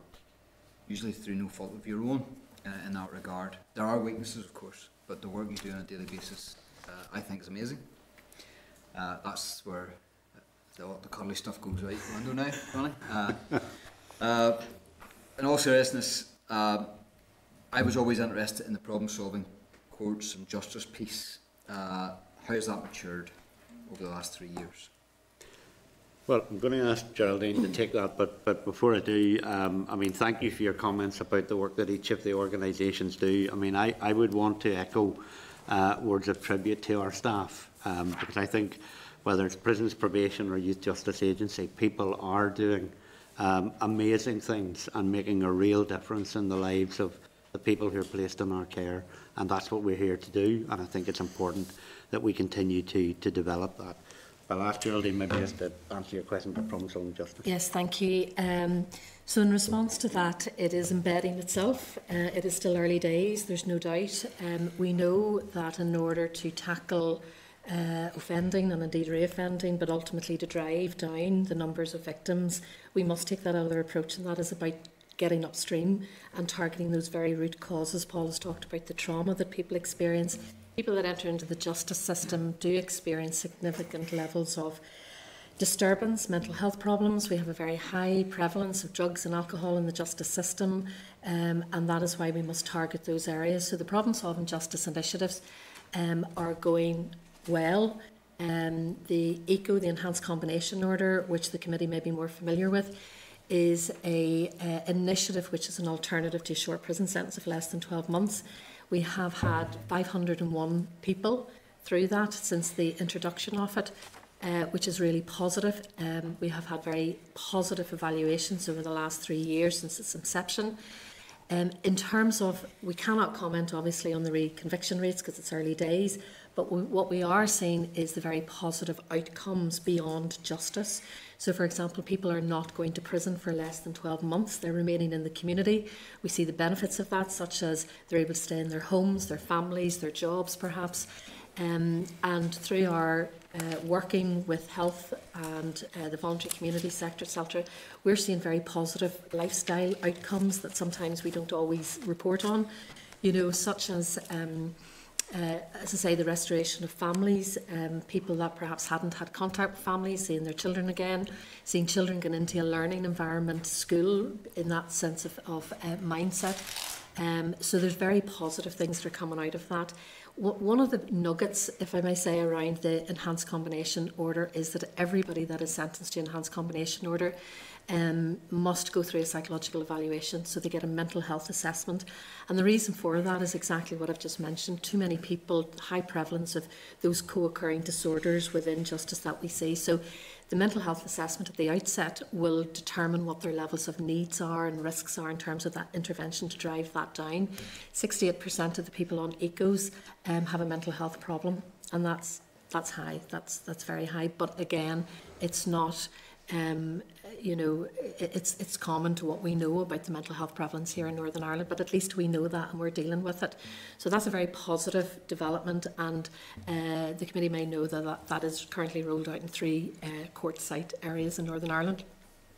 The other problem solving uh, justice initiative is the domestic violence interventions. And along with our partners across justice and health, um, what we have targeted are those people that have not come into the justice system. So people that we know that uh, what we refer to them as the unadjudicated people, um, that we know they have a propensity to commit a act of domestic abuse against their partner. We see the children that are living in these environments, and in order to drive down that transgenerational cycle of domestic abuse, it's about targeting them early. So the, the committee may be aware that we uh, delivered a pilot in the Western Trust to uh, men who were identified by social services as having that propensity uh, to act in a violent manner in domestic situation. And that was a huge success. Um, and we've rolled out three more pilot, three more programs in that area. 72% have completed successfully. So in other words, people haven't come into the justice system so that we are targeting them early. And as a result of that successful pilot, uh, we now are delivering and rolling out the unadjudicated domestic abuse programme right across all the trust areas in Northern Ireland. So it, it is seen as getting an early early intervention in its absolute true form and effective in terms of looking at those wider outcomes around health, education and justice, etc. Uh, the substance misuse court we've heard about. Um, it is an, uh, certainly a very alternative approach, but one that we know from the evidence that works. It is effective in terms of keeping people out of the justice system, uh, targeting and tackling their, their drug misuse and their health problems as well. We see a high rate of mental health problems within the, the substance misuse court as well. We're into our second cohort, and the early findings from that evaluation would indicate that uh, people are, are not committing further crimes, they're not taking the high levels of drugs that they were, um, and they're getting treatment and they're staying in treatment.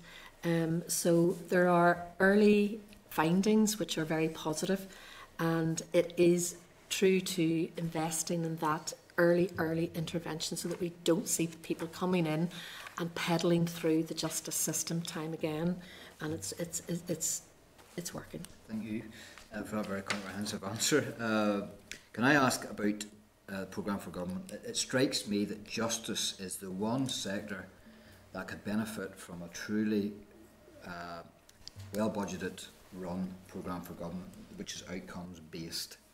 Uh, Chair touched about the collaboration from all across departmental bodies. Uh, how well is that really working, and how much do you need an outcomes based programme for government? Um, well, I think we, we absolutely need an outcomes-based uh, programme for government. As I said at, at, the, at the beginning, we can't do this in justice on our own. Um, and I think it has been a struggle in the early days to get people to realise that and, and accept that. Um, but I, I do believe we have made significant progress across government in terms of bringing people together to work with us in terms of what we're trying to do. I mean, the the, the, the project that that um, that I uh, am co-sponsoring with um, a colleague from the Department of Health that, that, that Declan has responsibility for around the repurposing of woodlands, I think is a really good example of, of what we're doing. And I don't know if you want to just mention that briefly as, a, as an example, Declan. It absolutely is, Ronnie. I mean, at the heart of, of that um, initiative is, is to say that what we want to do across government is help vulnerable children and improve their life opportunities, which which speaks to Programme for Government Target 12, Outcome 12 at the moment. Um, and, and that's what we're trying to, to achieve. When we started on that programme ourselves within the department and specifically the Youth Justice perspective, we knew the changes that need to be made to our custodial environment, which is Woodlands, JJC. But I was taken by heart quickly, health, came to the table with us and education to say, how do we solutionise this? How do we work together moving forward? And that has given rise to this initiative that's called the Repurposing Programme. And what that is essentially is the Department of Health and the Department of Justice have a programme team jointly funded together who sit in situ and work to develop a new dawn basically and, and develop the services that we have for our vulnerable children to see how we can improve upon that and improve upon their life chances. It's targeted to, to happen by 2022, and the first stage of that is to bring forward design proposals eh, over the first 12 to 18 months. We've already done that. We've signed them off at our most recent programme board, which Ronnie chairs alongside the Chief, Wealth, Chief Social Worker sorry, in Health.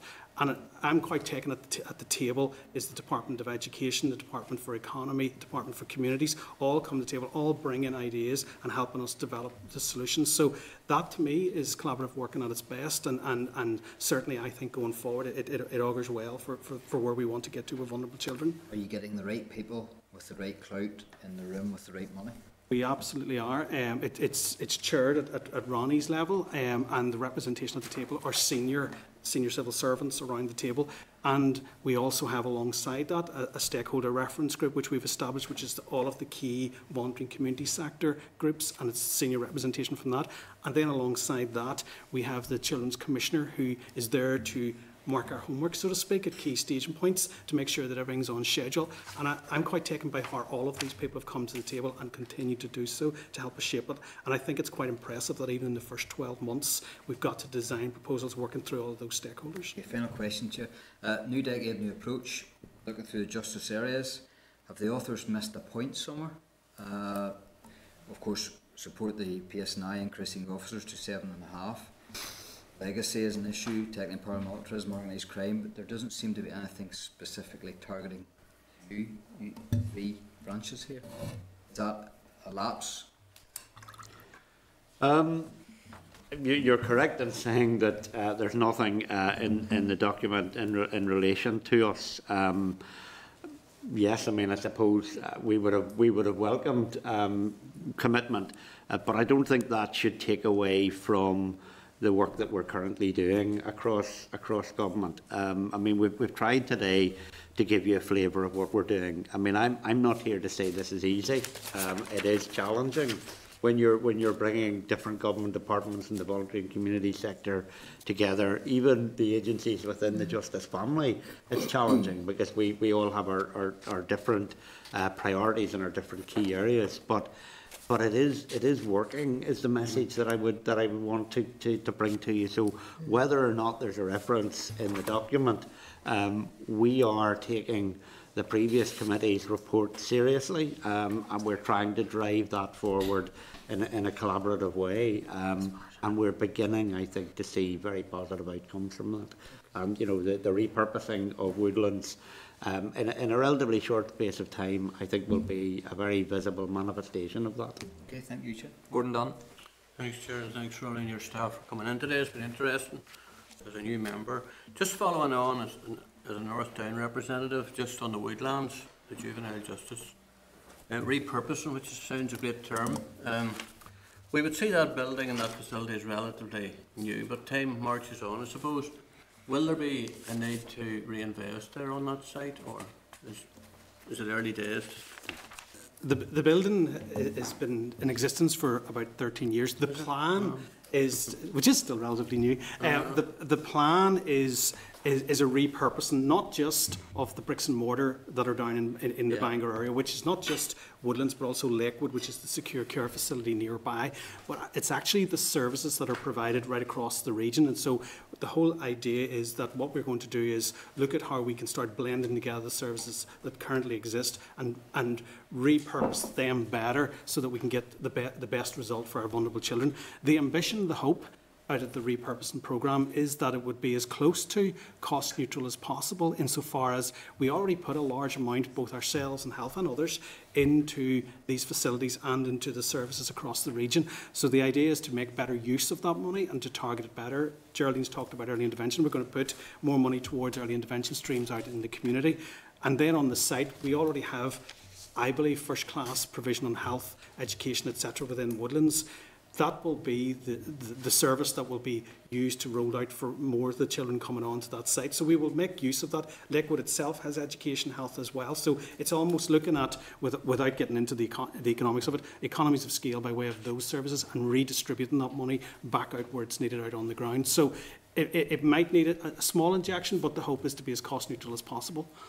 The average daily population of Woodlands, JJC, in 2018-19, 18 young people. That's right. It sounds relatively low.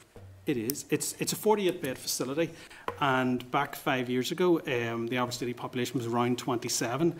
Um, we felt, and certainly I felt, uh, as the accounting officer, that uh, some of the children there didn't have to be there and could be better dealt with in the community with the services that are there from my staff and, and others. And so the hope and the, the aim was to try and target early intervention programs towards vulnerable children.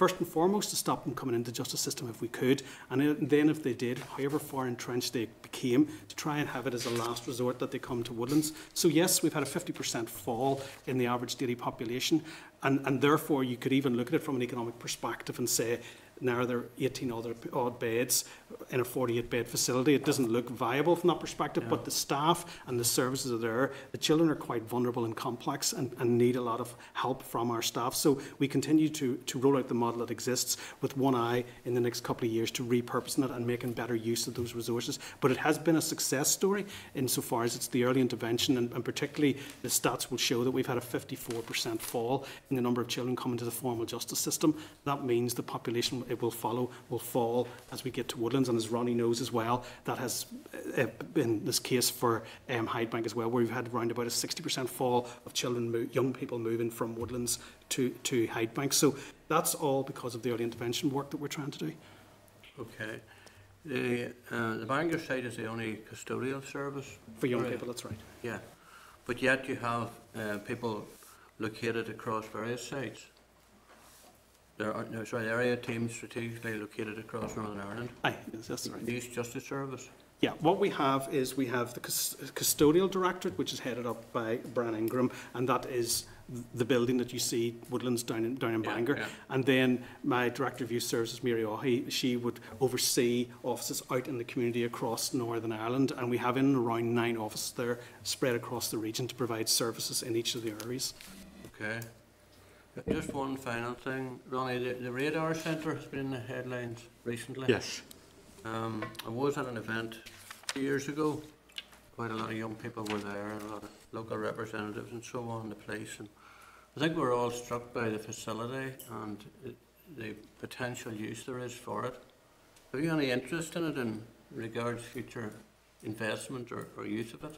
I think it's a very positive facility. Um, yeah. I don't have responsibility that would sit Not under yet. Anthony Harbinson in the Safer Communities um, Directorate. Yeah. But, it, but it's certainly a very good facility, and, and I would encourage um, you know, schools and, and youth groups and others to go and visit that. I think that can only be mm. positive um, because there they will get um, you know, a very good uh, insight into the work of the court service and the work of the prison service and the police and, and others. So I think I'd be very supportive of it, but I've no direct involvement with it. Okay, Grant, thanks very much. Linda, you wanted to follow up on Woodlands? No, uh, uh, sorry, it was just a quick question in relation to something else, so if there's Okay. somebody else who wants on, yeah. Rachel? Okay, thank you. Um, I just have two. Um, Gordon stole all my woodlands questions.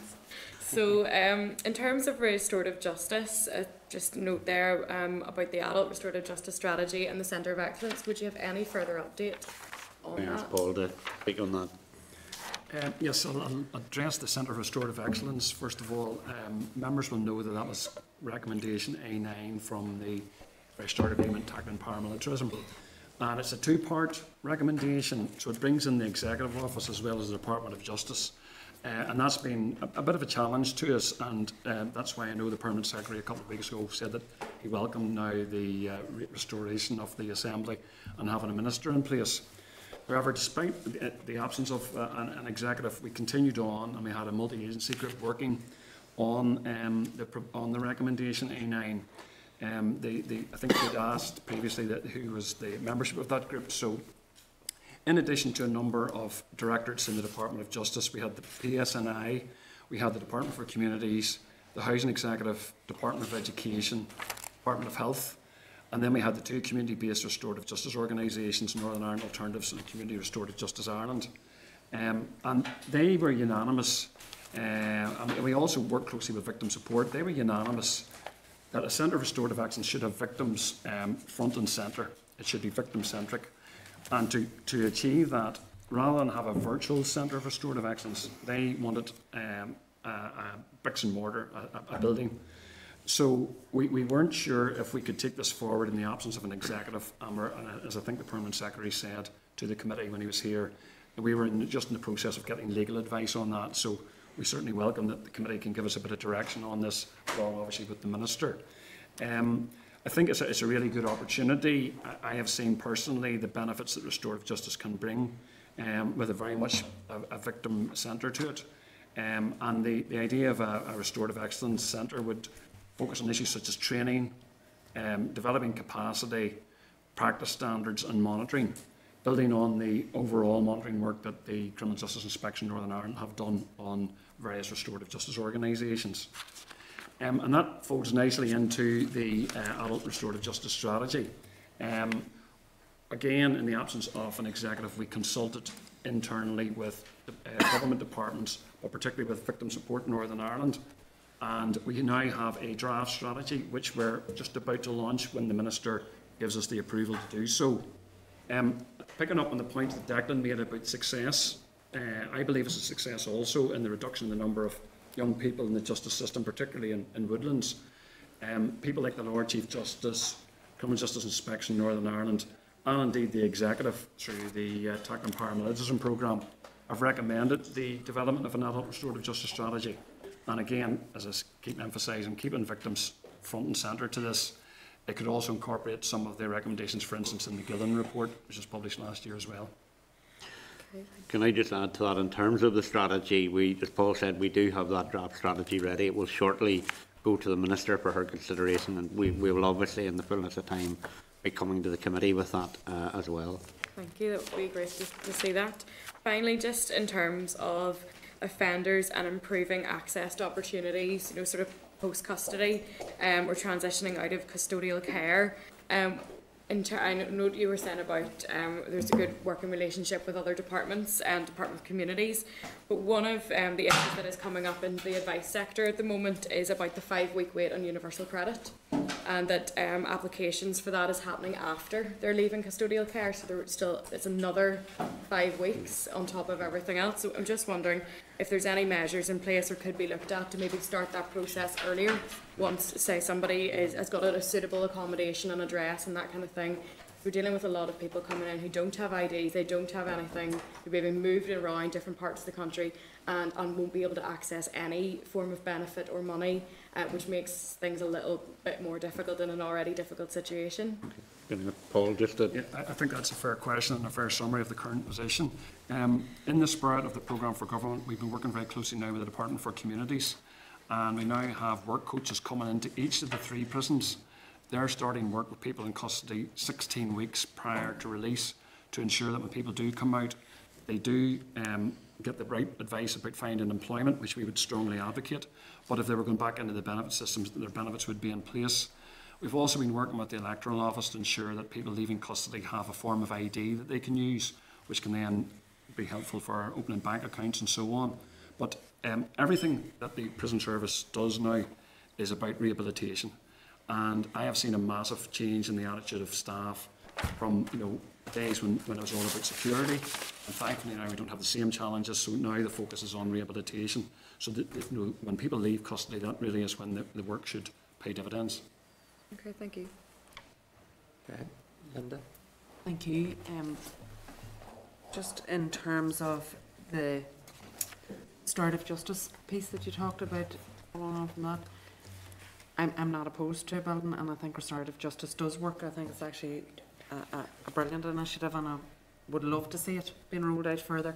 I know that um, Judge Martin had talked about, you know, making it statutory in terms of the, the funding, which I think would be a positive thing. That the, those groups and organisations wouldn't be having to reapply for funding all the time. And one of the things that we did raise with them, this is in a previous life on the policing board, was concerns around the fact that it still needs to be community led. It needs to be the organisations that are there. It needs to be community up because that's why it's worked. That's why it has worked so well is because it is the community working with the community that are most impacted. So I think that that's one thing that needs to be ensured. I agree with the victim centred, but again, that's why it's worked. It is the community. The victims are within that community. The perpetrators very often within the same community. So I think it's important that you know, whilst it's victim centred, it is community led. All of those restorative projects, I believe, work for that reason. Um, and I have another quick just thing on the domestic violence stuff. I think one of the problems, and I don't know how we address it, and you might have some suggestions, and that's really what I'm asking for, is that people don't see, even with all the work that's happening around domestic violence within this committee and many other committees, health and, and all of the different agencies, PSNI, everybody is doing a lot of work in relation to domestic violence because we realise the issue that it is. But I think that there is not a recognition out there in the wider community that it's a community problem, not a family problem. And I've seen this when I've went to events and, and you ask people about what, what are the biggest issues in terms of policing within their communities. And room, rooms full of women, many of whom might be the victims of domestic violence, Yeah. don't put domestic violence on their top five, even their top ten. So is there a way that, is, are there things that we could be doing as a committee, that the minister could be doing, that, that statutory organisations and, and bodies should be doing to ensure that the community realise all of the issues that you've raised here today about the impact, the knock-on effect in homes where domestic violence happens then for the children becoming involved and obviously the parent is already involved in criminal activity if they're doing that, but the children then, you know, coming to the attention of, of the judiciary or justice system. I mean, Is there the mi- something or more And we the can do? Minister has it as one of her top priorities. Um, I have not had an opportunity to have a discussion with her about that, but, but certainly will be. But, I mean, Geraldine might want to comment in terms of that community Yes. aspect. Thank you for that. Um, you're absolutely right, and it is so it remains underreported. Um, and I think what needs to happen is uh, there is a wide range of strategies out there in terms of you know the voluntary community sectors, women's aid, health, justice. Everybody is involved, education. But actually, you know, it is raising awareness from a very young age as well, and in schools. Um, and I think going back to uh, Mr. Frew's question about the early impact and the interventions and, and how that's embedded, um, you know, it, this we, we see so many children who are um, witnessing and living in homes where there is domestic abuse. And the other issue that you raise around sometimes the community norms, um, that sometimes it is normalised um, and people still have a fear about reporting domestic abuse as well. And it's so that the communities are, are, are so aware and to be able to see the early warning signs um, and that children are educated as well. Uh, because what we know is that we see so many children that live in homes where there is domestic abuse, and we then see that intergenerational cycle of domestic abuse. We see a significant increase in terms of child to parent and child to grandparent domestic abuse. So there's an awful lot that uh, is being done, but there's more that needs to be done at that very early stage within education as well. And as you say, educating communities to educate themselves. Big Beattie? Geraldine, just something I picked up on that you said. I mean, the enhanced combination orders, there's been over 500. And I, I'm a fan of these. Like, like Paul, I, I've seen it. I'm absolutely with this. But you said we've no stats for reoffending from that. Why have we no stats for reoffending? Well, we, we've lots of statistics, but in terms of the actual reconviction rate, uh, there's a time lag on that for, for that to be reported. However, the statistics that we know are that uh, there's 500 people that have come through orders. There's 20% people, uh, a decrease in custodial sentences of 12 months or less. Um, from the evaluations, there's 85% of people on ECOs that are reporting enhanced uh, relationships and, and, and positive family dynamics, um, people that are getting employment, people that are linked into health. Uh, there's 68% of people that are presenting with mental health and drug related problems. We have lots of statistics, but the reoffending figure is that there's a time lag in terms of the, the overarching reconviction rates that come at a later stage. And I suppose that's not, I mean, it's, it's only part, that's only part of the statistics of everything else that you just mentioned. But it's still an important part. Oh, uh, uh, absolutely. And in fairness, it is the measure that we will obviously be looking at.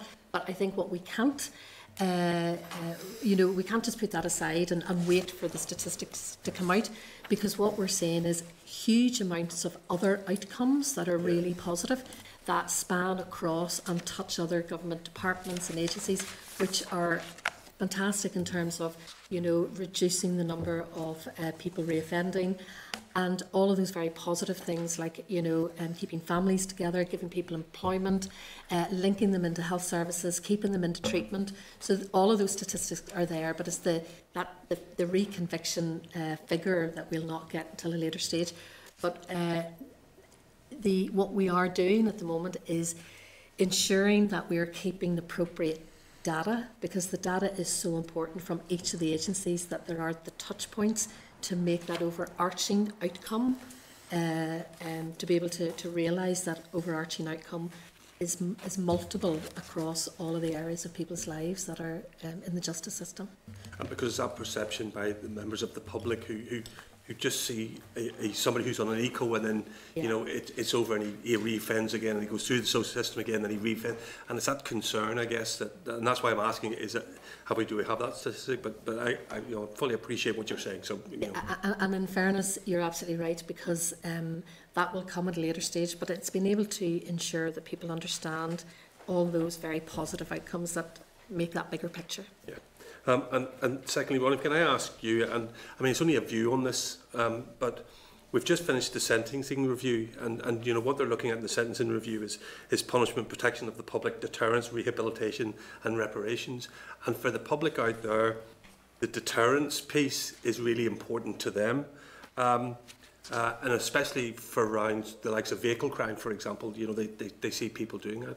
Is, is that, is that going to have an effect on, on, on how you do business if at the end of this sentencing review, you know, there's a, there's a mass uptake in saying stronger sentence, stiffer sentence, let's focus more on deterrence, let's move away a bit from, from, the, from the rehabilitation. I'm not saying I want that, but I'm just saying that, you know, there's people feeding into this. Have you got a view on that at all? Well, well, I would certainly hope that people in looking at this would look at the rehabilitative work that's being done by the agencies here today and by others, uh, and would see the benefit of that. I, I deliberately said in my opening comments that rehabilitation is not a soft option, and, and it's not a soft option when you see it, uh, when you see it uh, in practice. At the end of the day, we as organisations are statutorily obliged to take the people who come our way. So the prison service can't turn anyone away. So irrespective of the number of people who come through our gates, um, I'm clear that our responsibility is to work with those people, to challenge them and support them to change, um, and to do everything we can when they leave our custody uh, to, to put them out better individuals than they, they came in. And that's the same for youth justice, and it's exactly the same uh, for the probation service as well. And that's why I think it's important that collectively that we're working together so that, you know, the early intervention piece that Declan talked about is in place. And we're seeing the impact of that at Woodlands, that we in the prison service have the programmes and support mechanisms uh, in place through our learning and skills, through um, all of the work that we're doing around equipping people for employment, and that probation then, when those people are leaving our care, uh, are ready to, to pick those individuals up and the others that they have responsibility for who don't come into custody and to work with them. So I would hope all of those things would be taken into account in a sentencing review. Um, and I would argue that rehabilitation uh, is, a, is an extremely important uh, factor. We've talked about reoffending rates. Um, our job is to, to, to drive those reoffending rates down through the work we do to ensure that there are fewer victims created in our society. Yeah, thanks, Ronnie. Good, good response. You're right. Absolutely. Thank you. Thank you, Chair. Okay, Doug. Okay, can I thank Could I just raise one thing? Briefly? Yeah, well, I'll, I'll say why. I'm just conscious of the time. I know some members are leaving Missing at four o'clock. persons is an issue. When someone goes missing, first thing that we are, can happen is a written report to the police. And the police seem to be ending up with a, a growing problem, which they find hard to address. Do you feel that there's some need for some other agency to get involved or to help support the police in, in this ongoing problem of missing. Um, I think there are many demands placed on yeah. on policing uh, and operational policing. Um, I think certainly where people are going missing, I think that the police need the support of everyone, and particularly the community. I think yeah, in yeah. trying to to address that, but I d I don't think there's a one size fits all or a or a one answer to say it should be this organisation or that organisation. I mean, obviously, if if the person happened to be someone that had left the prison system, we, we would have a, we would have an interest in providing any information we can. Again, if it was someone in relation to probation or youth justice, they would they would as well. But I don't think there's any one organisation. Yeah, but, I, well- but I accept it's it's a big challenge for the police. I don't know if the supporting communities directorate have been before the committee yet, but uh, themselves, the police might want to, PSNI might want to tell you about the multi-agency support hubs, which really address the issue of missing persons as well as other issues, because the police have figures that six out of ten calls the police aren't about crime matters. So this is, the multi-agency support hubs have been a, an attempt to try and mm. deal with those societal issues rather than crime issues. Okay, something I'll, I'll work on. Thanks, Chair. Okay, folks, can I thank you very much for coming to the committee? Much appreciated. Members, we'll move on to the next item, and Deborah will make her way table. So pages 22 to 34. Um, this session, I know, will lend itself just to very direct questions and answers. It's financial related. I appreciate the previous session was broader in its nature, but um, I just know that some members have indicated to me that they're against the clock, and so I'm keen to try and transact all of the business. But I'm in the hands of the committee and its members. Deborah, can I welcome you to uh, the committee? You. Um, and also Lisa and Louise, very welcome. So Deborah, I'll hand over to you at this stage. Okay, so thank you very much for the opportunity to come along um, this afternoon. Um, I'm Deborah Brown, I'm the Director of Justice Delivery, um, and with me this afternoon um, I have Lisa Rocks, who is the Department's Finance Director, and Louise Blair, who is the Head of Financial Planning. So this afternoon um, is an opportunity for us to give you an introduction um, to the Department's finances, how the budget is allocated and the types of issues that we're currently facing. Um, we thought it was useful at this stage to give you that high level overview, but of course we will come back to the committee to provide further briefing as we work through the 2021 budget process. Of course, we very much value um, the committee's input to this, and we will engage with you throughout that process and take your views on board. So, in terms of the approach today, you've got a slide pack which we would like to talk our way through, and hopefully, you all have that. Um, but before we do that, there's just a couple of other points that I would just like to highlight at this stage. Um, on the current budget, the in year budget, just to give the committee reassurance that at this stage of the year, um, we are on target to remain within our budget and do not foresee any issues between this and the end of the financial year. Um, looking ahead into 2021, we do face a number of pressures um, and we continue to input into the wider budget process um, to seek sufficient funding to make sure that we are able to deliver on the programme for government, the new decade, new approach commitments and maintain frontline services. Uh, we understand that the Finance Minister has briefed the Finance Committee and committed to make a statement to the Assembly setting out the 2021 budget around about the 9th or 10th of March.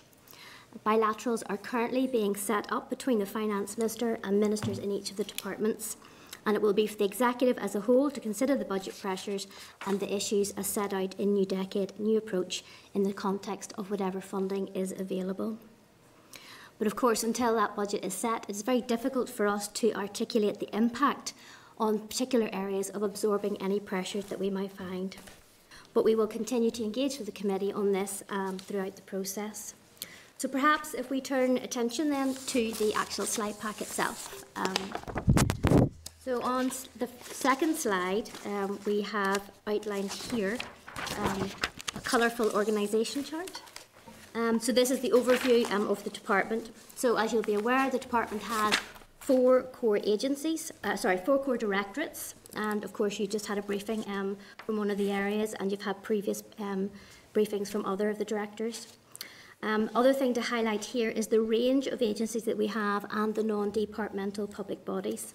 So the pink boxes are the five executive agencies, um, and we are the department with the largest number of, of agencies, five of a total of nine across the whole of the NICS. And the green boxes are our eight non-departmental public bodies. And of course, they have a quite a large share of our budget, and the largest of that would be the PSNI. Turning then to the third slide. So this gives you a very high level view on how the budget is actually allocated. You'll see, as I say, a vast majority of that budget sits with our non-departmental public bodies, 72%, about £747 million. And within that, of course, is the PSNI, about 68% of that, that would be £700 million. The executive agencies, they um, account for then the 23%, that's about 240 million. Um, within that, you've got prisons, youth justice agency, legal services, um, and the court service, and yeah, and the yeah court service. So this slide then um, highlights that only a small part of the department's budget, five percent, is allocated to the core department and smaller bodies such as compensation services. I'm going to move then on to the fourth slide.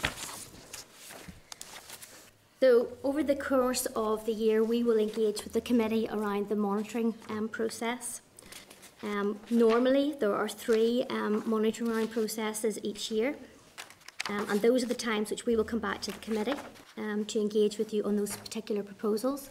But of course, we are happy to come back to the committee on any specific issues that they want to discuss. Um, as I said earlier, we will, of course, be coming back again on the 2021 um, budget.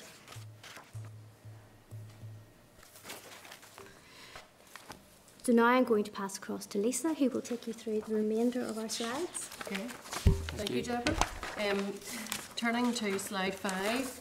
Slide five shows how the departmental budget is broken down. So we have a departmental expenditure limit, which you'll sometimes hear us refer to as DEL. That's broken down into resource DEL and capital DEL. On the resource side, that's further split into non-ring-fenced resource DEL and ring-fenced resource DEL. Non-ring-fenced resource DEL is for things like staff costs and normal running costs, or you'll sometimes hear it referred to as cash. Um, and we have a budget there of £1,077 million, or just over a billion pounds. There's also then ring-fenced resource DEL, sometimes referred to as non-cash, and this is a technical type of budget which is used for things like depreciation. As the title suggests, it's ring-fenced and therefore it can't be spent on other areas, so for example regular ongoing costs like staff costs. And the budget there is £84 million. And then finally there's the capital DEL budget, and this is the budget that we use for investment in things like IT, buildings and vehicles, and our budget there is £76 million for 1920. Turning then to slide six. Slide six outlines the key features of this year's non-ring fenced resource DEL budget. So the key features of that were that the department received £11.3 million towards 2019-20 pressures. No cuts were applied and the additional funding was used to minimise the frontline impact of spending areas absorbing their pressures. It also provided sufficient funding to allow the Department to take forward legacy inquest proposals in line with the Lord Chief Justice's plan. In addition, the department received £32 million towards employer pension contribution pressures. This was a pressure faced across the public sector following a pension revaluation. In addition, the PSNI received £31.1 million of Fresh Start security funding. This is in line with the Fresh Start Agreement, which set out £160 million across five years. Each year, the PSNI will switch elements of this between Resource DEL and Capital DEL, but it's initially drawn down as resource. Finally, the department received £10.7 million for EU exit costs, of which the lion's share went to the PSNI, who received £9.8 million, which they used to recruit an additional 300 police officers, the balance of which was used across the core and agencies for preparation. It's also fair to say the department also had access to further fresh funding. First of all, for tackling paramilitarism, where the department has drawn down £7.5 million this year, and also shared futures funding, where £870,000 has been drawn down. Turning then to slide seven, this slide shows how the departmental budget is allocated. As Deborah has highlighted, the department has a range of agencies and non-departmental bodies so the budget is split across quite a range of areas, with the lion's share being with the PSNI, who you'll see there receives £703 million worth of funding. In terms of other key elements, um, significant shares of the budget sit with the Prison Service, Legal Services Agency and the Court Service. In the core department, um, it's worth saying there includes compensation services, which used to be an agency, but the £55 million includes £19 million in relation to compensation services. and also just to note that the courts and forensic budgets are shown net, so in the committee we'll receive figures in terms of budgets and percentages. For example, forensic science has a gross spend of £10 million, although you'll see it as 500,000 on the chart. And also that courts would receive about £30 million of income, so would have gross spend of about 70 million. Turning then to slide eight, um, this is just a couple of very brief statistics um, showing that 68% of our budget sits with the PSNI, and coincidentally, 68% of our total budget is spent on staff costs, so we're very much people um, in terms of costs.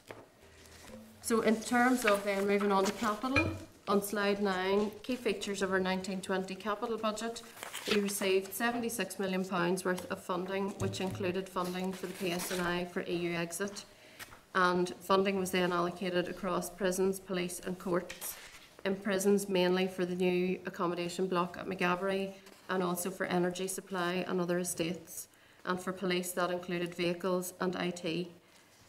Um, turning then to how our capital is allocated on slide 10. You'll see that in slide 10, our main capital spenders would be police, prisons and courts as they make up most of the justice estate. Other areas receive capital each year based on the prioritisation of the bids. So for example, you'll see the probation board received some additional money this year and that related to IT and some estate refurbishment. So that's an overview in terms of the 1920 budget. But looking ahead then to 2021, as Deborah says, we'll come back to the committee to talk further about 2021 as the process develops, but we thought it would be useful to give the committee a flavour of the issues facing the department looking ahead to 2021. You will have seen that the department faces £56 million worth of financial pressures from the first day brief, and slide 11 gives a breakdown of what that relates to. As I said previously, given a significant amount of the budget is based on staff costs, £16 million worth of the total £56 million pressure relates to pay. The other significant element of the pressures relates to PSNI operational pressures. These include things like estate maintenance, injury and duty, and IT. And then the remaining other category is spread across 14 different areas, so it, it covers quite a range of things. Um, £55.7 million worth of pressures is 5% of our departmental budget, so to absorb that level of pressures would have a significant impact, um, but that's what we're feeding into the budget process. In terms of capital DEL, we submitted to the Department of Finance a range of detailed bids across all areas. It's very much a zero-based approach each year. But again, the most significant elements of that would be the prison estate, police estate and courts transformation. And we're currently in the process of refreshing those bids and we'll come back to the committee on them. Um, turning then to slide 12, it's important to say that in addition to the £56 million worth of known pressures, there's a range of potential significant high cost pressures. I say potential as there's much uncertainty in terms of what could crystallise and when and at what amount. Um, if they were to crystallise at significant levels, it's fair to say they would have to be centrally funded because they'd be too significant for the department to absorb. It's very difficult to put numbers against them, as I say, because either they're subject to legal proceedings or they're just very much at this stage very uncertain. But we will keep these under review and we'll update the committee as and when we have further information. But just to run through very quickly, um, the first issue is in relation to holiday pay, of which the committee may be aware, which is following the Bear Scotland legal case, where there was a ruling where regular overtime created additional holiday pay entitlements. There will be implications across the board, but most notably for PSNI, who are appealing the judgment.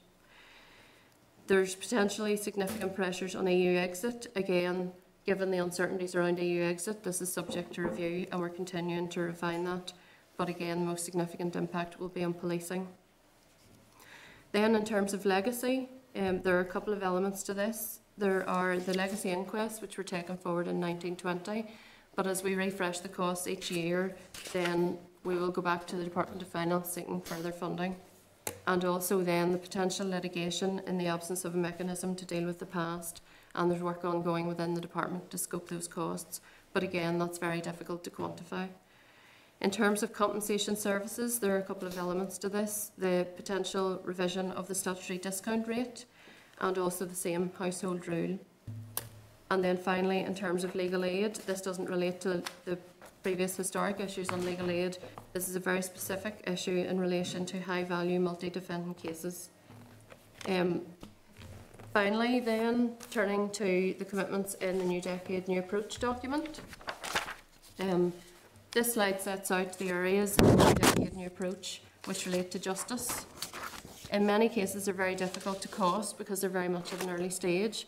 But again, if I were to run down quickly the justice areas, the document sets out a commitment to increase the number of police officers to 7,500.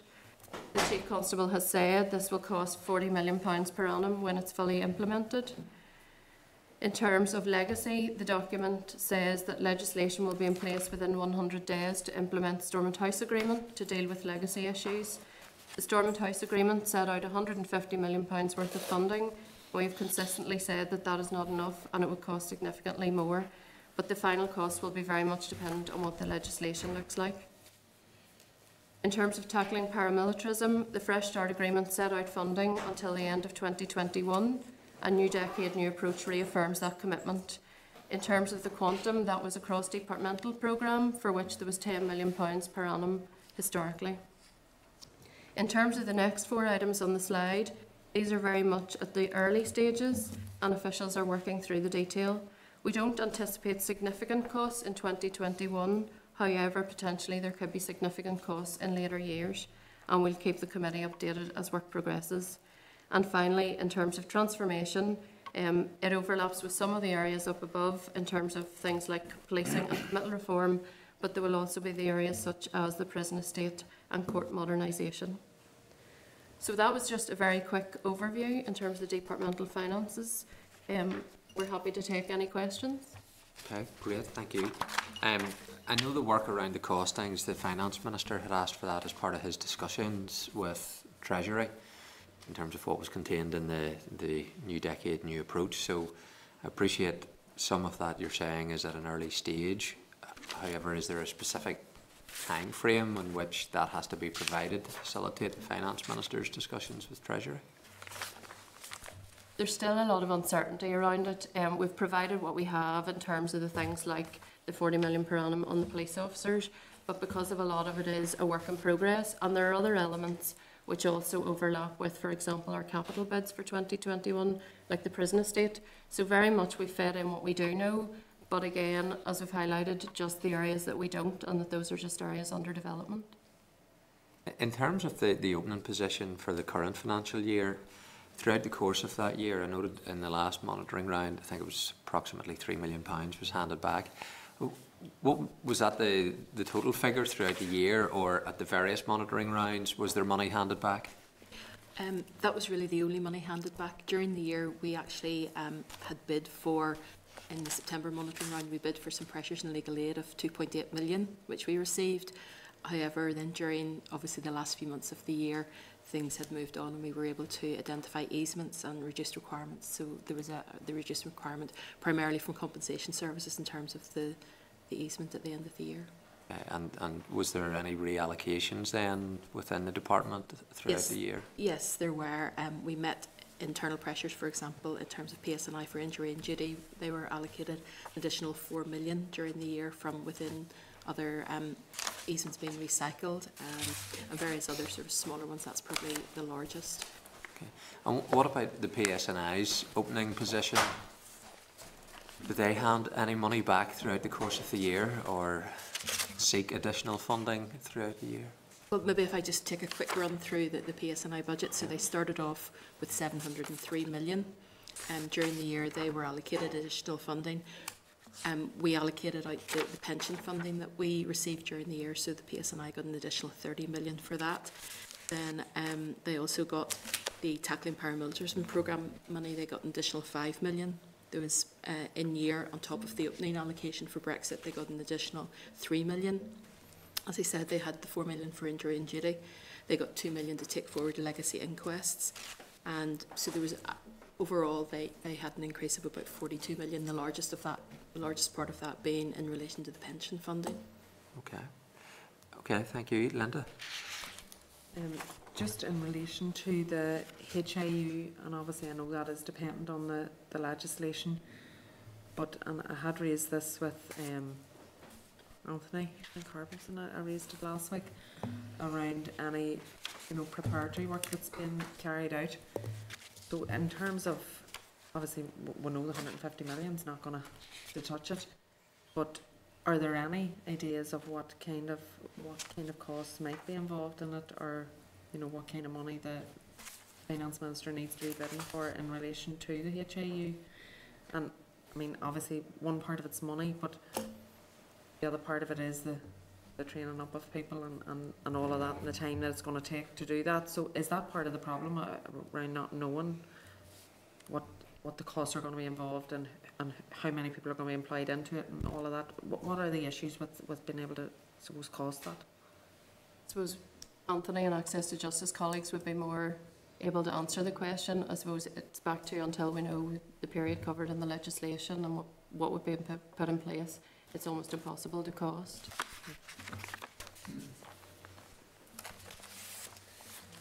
Doug Beattie? Thank you, Chair. I'm going to ask this one again. I already asked this for somebody else, that was the wrong person. But the Northern Ireland Legal Services Commission have had their accounts qualified. Um, uh, and part of that qualification is, is, is because of fraud. Um, and there's other reasons, but because of fraud. And, and some of that might even be in, within the system itself. I mean, what are we doing to rectify that? Okay, so the reason for the qualification is because we are unable to estimate in any sort of way the level of fraud and error within the accounts. Um, so at the moment what we're doing is we are working with some specialists um, drawing from expertise in DFC who have gone through this process before. Um, and there are sort of three areas of, of error that you can find. So um, there can be um, official error, so that's basically whatever happens within the, the organisation itself. Then there's applicant error, and then there is um, the professional error that could happen as well. So we're working our way through this. So there's testing of cases to find out if there are any levels of error. If there are um, things that we don't know, then you can end up with what's called a deemed error. So, um, so you're looking for more information. So then we have to look back into the records and see if we can prove that the payment was legitimate, there was no overpayment or underpayment, etc. So we're currently working our way through that process. Um, and working with the audit office, so that's why the accounts are qualified because we're unable to give an estimate of fraud and error. and, and one of the recommendations um, was that the, the, the, the taxing agent for the, the High Court shouldn't be a High Court judge, is, is, uh, and, and, and therefore should be a civil servant. Is that being looked at or is it not being looked at? Um, Bearing in mind he, he writes the, the, the certificates for the legal aid mm. for the High Court judge. No, for I'm, the High Court? mm, I'm, I'm not too sure about that. I mean, the whole issue about the, the taxing master is quite a, a complex area and any changes would, would need some primary legislation. Um, we are looking at some cases that maybe wouldn't need to go to the taxing master. Um, we're looking um, at criminal appeals to the Court of Appeal um, and standardising um, some of the standard um, two main types of family law. So there are some areas there that we're looking at, but I can get you some more detail on that. And, is that, and, and, and that's interesting. So you're talking about family civil cases Yes. and legal aid in regards in regards to that? Yeah. Okay. Um, th- thank you. Um, second one is you, you drew down 7.5 million for tackling paramilitarism this year. Uh, what is that out of? What was the what was the budget for that for this year? Was it is it 10 or 15 million? Um, it, this year, I, I suppose there's been, on average, it was expected to be about 10 million per year. Um, however, at the start of the programme, um, there was, obviously it took a while for things to ramp up. So I think overall, um, I'm not sure if the exact figure we can come back to because it's across departmental, it doesn't actually sit within the Department of Justice. Uh, no, ab- absolutely, and I'm, and I'm trying to f- I'm trying to find out. I mean, are we using what we're entitled to use? And you're absolutely right. And I remember when it started because we didn't use it, and we we had to go through a fight to get it all carried on to the following year because Yes. it was a year-on-year budget. Yeah. Um, so it'd be really useful to find out if if we're using what we're entitled to be using. We're certainly using what we have drawn down and what we have bid for. We're using, but as Louise says, we don't manage the overall programme. Right. So, but but what what you need, we're getting is no. Absolutely, yeah. and I suppose as far as I know, to the end of this, the 2019-20 financial year, the Tackling Paramilitarism programme has allocated about 31 million. So there's about 18 million or so, 18, 19 million that they would need for next year as far as I know. Brilliant. Thank you. Gordon Dunne. Thanks very much for your presentation. I have the, the Northern Ireland Audit Office uh, report on managing legal aid in front of me, 2016. It's a while ago, but some of us weren't here for some time, so I appreciate it. It's maybe a bit dated. What is the, the total legal aid bill, or what was it there for the, the last year, 2018, 2019? So um, this year, um, 88 million. Um, before we did some of our reform, legal aid bill was sitting at about 105 million. Not a bad answer, yeah. yeah, 2014, yeah, 2015 was 106.4 million. Yeah, so you, you- you're going the right direction. But um, prior to that, the year before that was 105.6 million. Now, this report, I, I appreciate it is somewhat dated. There were a number of recommendations, and I'm sure you're familiar with it. Um, one of the things that they talked about was the use of expert witnesses and the, the need, there's a need for reform in that. There's no set fee structure for this work. Fees payable under the general authority have not been revised since 1992 of an upper limit of £120 an hour. The agency must pay any amount claimed up to the limit.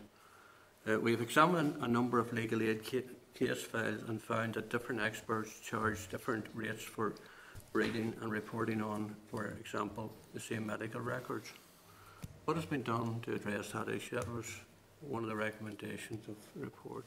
I have to admit, I have not brought with me. I do have where we are in each of those recommendations, but I didn't bring them with me. But I'm more than happy to come back to you on that particular issue. Right.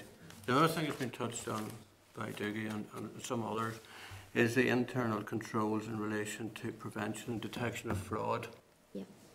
I'm sure you're, you're fully aware of that. Yep. Um, it said here in the report, Chairman, that where there are flaws in an organisation, counter-fraud strategy is, is expected.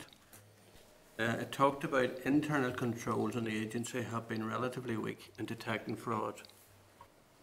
The primary control remains the vigilance of staff who process claims identifying anything suspicious, plus a small amount of simple base checks, which are largely undocumented, which I find rather alarming. Um, it also talks about uh, there was reliance upon the staff vigilance has been undermined by the quality of the agency's case management system.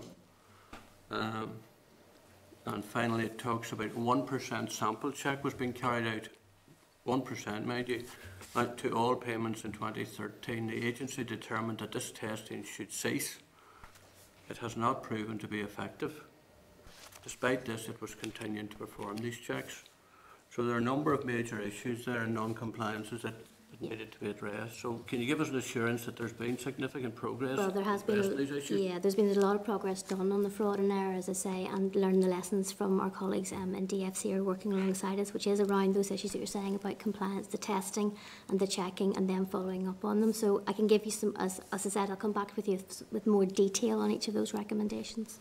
But are you aware of a, I suppose it would take a significant culture change really to address these issues. Are you aware of that within Oh, yes, yes, The- absolutely. I mean, the, system? the, the, the legal aid, um, they, we, we brought in the legal aid uh, management system. It was brought in um, in July of this year. the IT system? Yeah, the IT system. So that um, is a huge part of our transformation programme um, in Legal Services Agency. Um, we have also um, done some restructuring around the staff um, and how things are being done. Um, so again, that is to helping to change the culture and to change the behaviours around some of those issues um, and improve some of the checking um, around some of the. the What about fraud awareness training? Uh, Are all staff subject to fraud awareness training that would be dealing directly with this? Oh yes. They are? Is it mandatory? I'm not sure if we use the word mandatory, but it would be encouraged. I mean, anyone who's working in that field will have had the training. Should have had? Yes. Okay, so there has been significant reduction in the budget. Would that be fair to, That's fair, yes. yeah, to say from, from this report? Okay, thank you. Thanks very much. Thanks, Chair. Okay. No other members? Um, just to clarify then, Minister plans to make a statement 9th or 10th of March, I Yeah, I think it think was, that's the date, yeah. which I'm assuming is before Treasury's budget at Westminster. That's right. Um, so I take it it's a two stages, uh, you know, because if there's any foreign consequential uplift to Northern Ireland, he will have introduced a budget, which then within a matter of weeks may well have significant changes to be made to it. Is that your understanding? Yeah, that's our understanding, and of course, you know, we outlined the monitoring round, so the next point at which we would have that money allocated is possibly the June monitoring round, but we'll wait and see what the process is around this and how, if we do get additional money, how we would have the ability to spend that in the absence of having gone through the June monitoring round. And are you expecting one year budget or two years or? Mhm. I would, have- or imagine at this stage probably a one-year budget, but um, your guess is good as mine. Yeah, I suppose the only thing would be the new decade, new approach talks about the multi-year Yeah. PFG aligned to a budget. So you'd imagine timing wise, with the lead into that, you would expect perhaps a one-year budget followed by a multi-year. Assuming that's Westminster led, they would need to be allocating. Okay. Okay, great. Thank you very much. Thank you. Coming. Thank you. Thank you.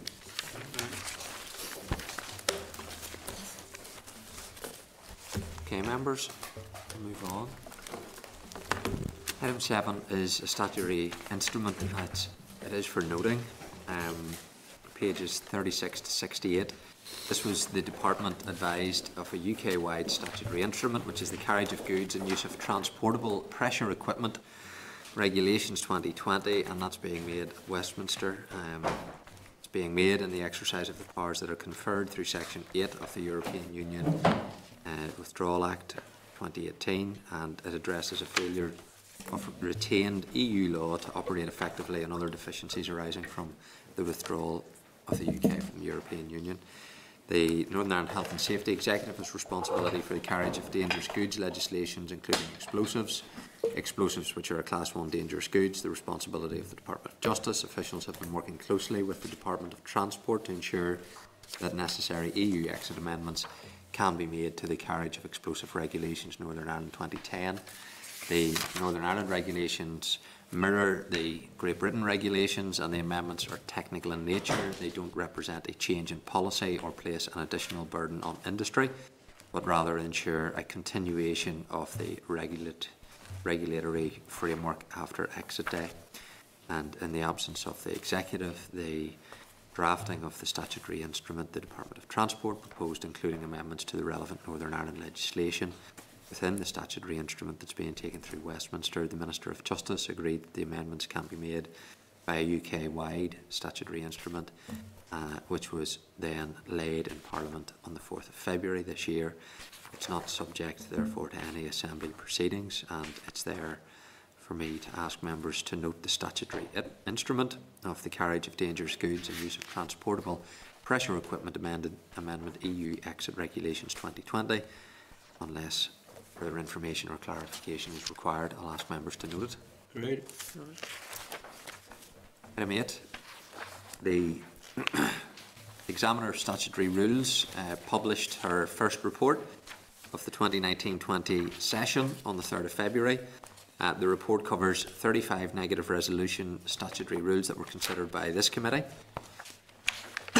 At its uh, meetings of the 23rd, 28th and 30th of January, and one statutory rule that's subject to draft affirmative procedure that has not been considered yet by the committee, as the department intends to bring forward a replacement statutory rule. The uh, examiner uh, has no issues to raise in respect of the technical elements of 31 of the 35 negative rules that the committee considered and agreed that we had no objection to, subject to the examiner's report. Members are content. We'll note that the examiner of statutory rules has no issue to raise with the technical elements of each of these statutory rules. Noted.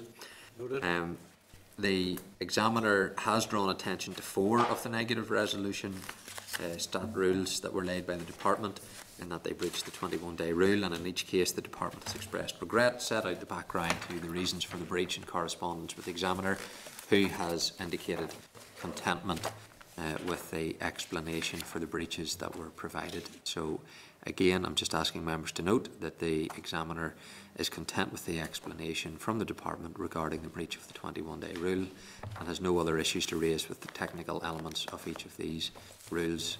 Unless members wish to raise any of the matters further, then we will note it. Uh, also, to note the intention of the department to bring forward a redrafted stat rule subject to draft affirmative procedure to bring the witness charter into operation, which is to replace the draft statutory rule that was laid on the 9th of January. And the uh, examiner has also provided a summary of the Department of Justice submission in relation to the making of statutory rules in the absence of ministers and asks members to note the position unless there's any more information required. Noted. Forward work programme, pages 150 to 155. It was agreed at the meeting on the 30th of January. Uh, the briefing on the LCM, the, the legislative consent motion for the Criminal Finances Act of 2017, will now be an oral evidence session with the date for this to be confirmed by the department. Uh, again, just to remind members that the Chief Constable is attending the meeting next Thursday to outline the PSNI budget position and key policing priorities and challenges. And uh, if members can provide any areas that they would wish to flag up in advance of that meeting uh, by close of play tomorrow to the committee staff, that would be appreciated. So far, we're looking at the radar centre and relaunch of child protection disclosure schemes are some of the issues that members have brought to Christine's attention. So, any more issues? Uh, people don't need to, they can bounce it on the Chief Constable at the time. That's, I'm sure he'll be capable of handling it, but Linda? Um, EU exit and legacy. I would think, Chair, just to say estate management of police stations, basically. Okay, so. Is it, is it in order to ask Chief Constable to give us an update on particular investigations that are going on? I, I have no particular issue with anyone asking questions around the entire remit. Obviously, he'll be, he will guide us if there's particular sensitive things that he can't go into, but I, d- I don't intend to put restrictions on Can we ask them for an update in the investigation into Muckamore and hyponatremia?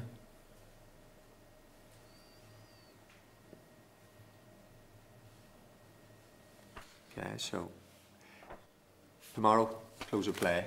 If there's other issues that members want to raise, um, just let let the team know, and uh, we can give the, the chief constable a heads up on, on those issues. But again, members are at liberty to, to ask whatever they, they wish next week. I'm pretty relaxed about that. He mightn't be, but I am. um,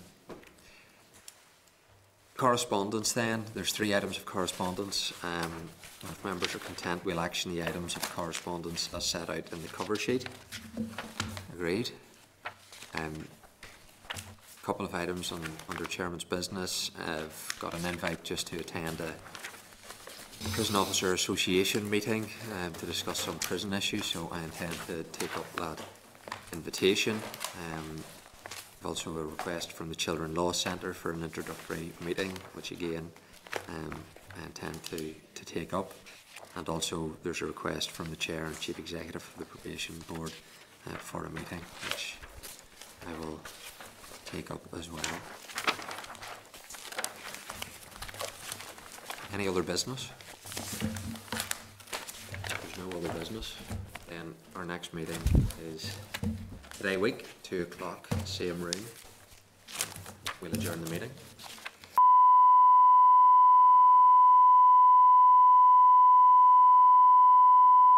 This is the Northern Ireland Assembly Committee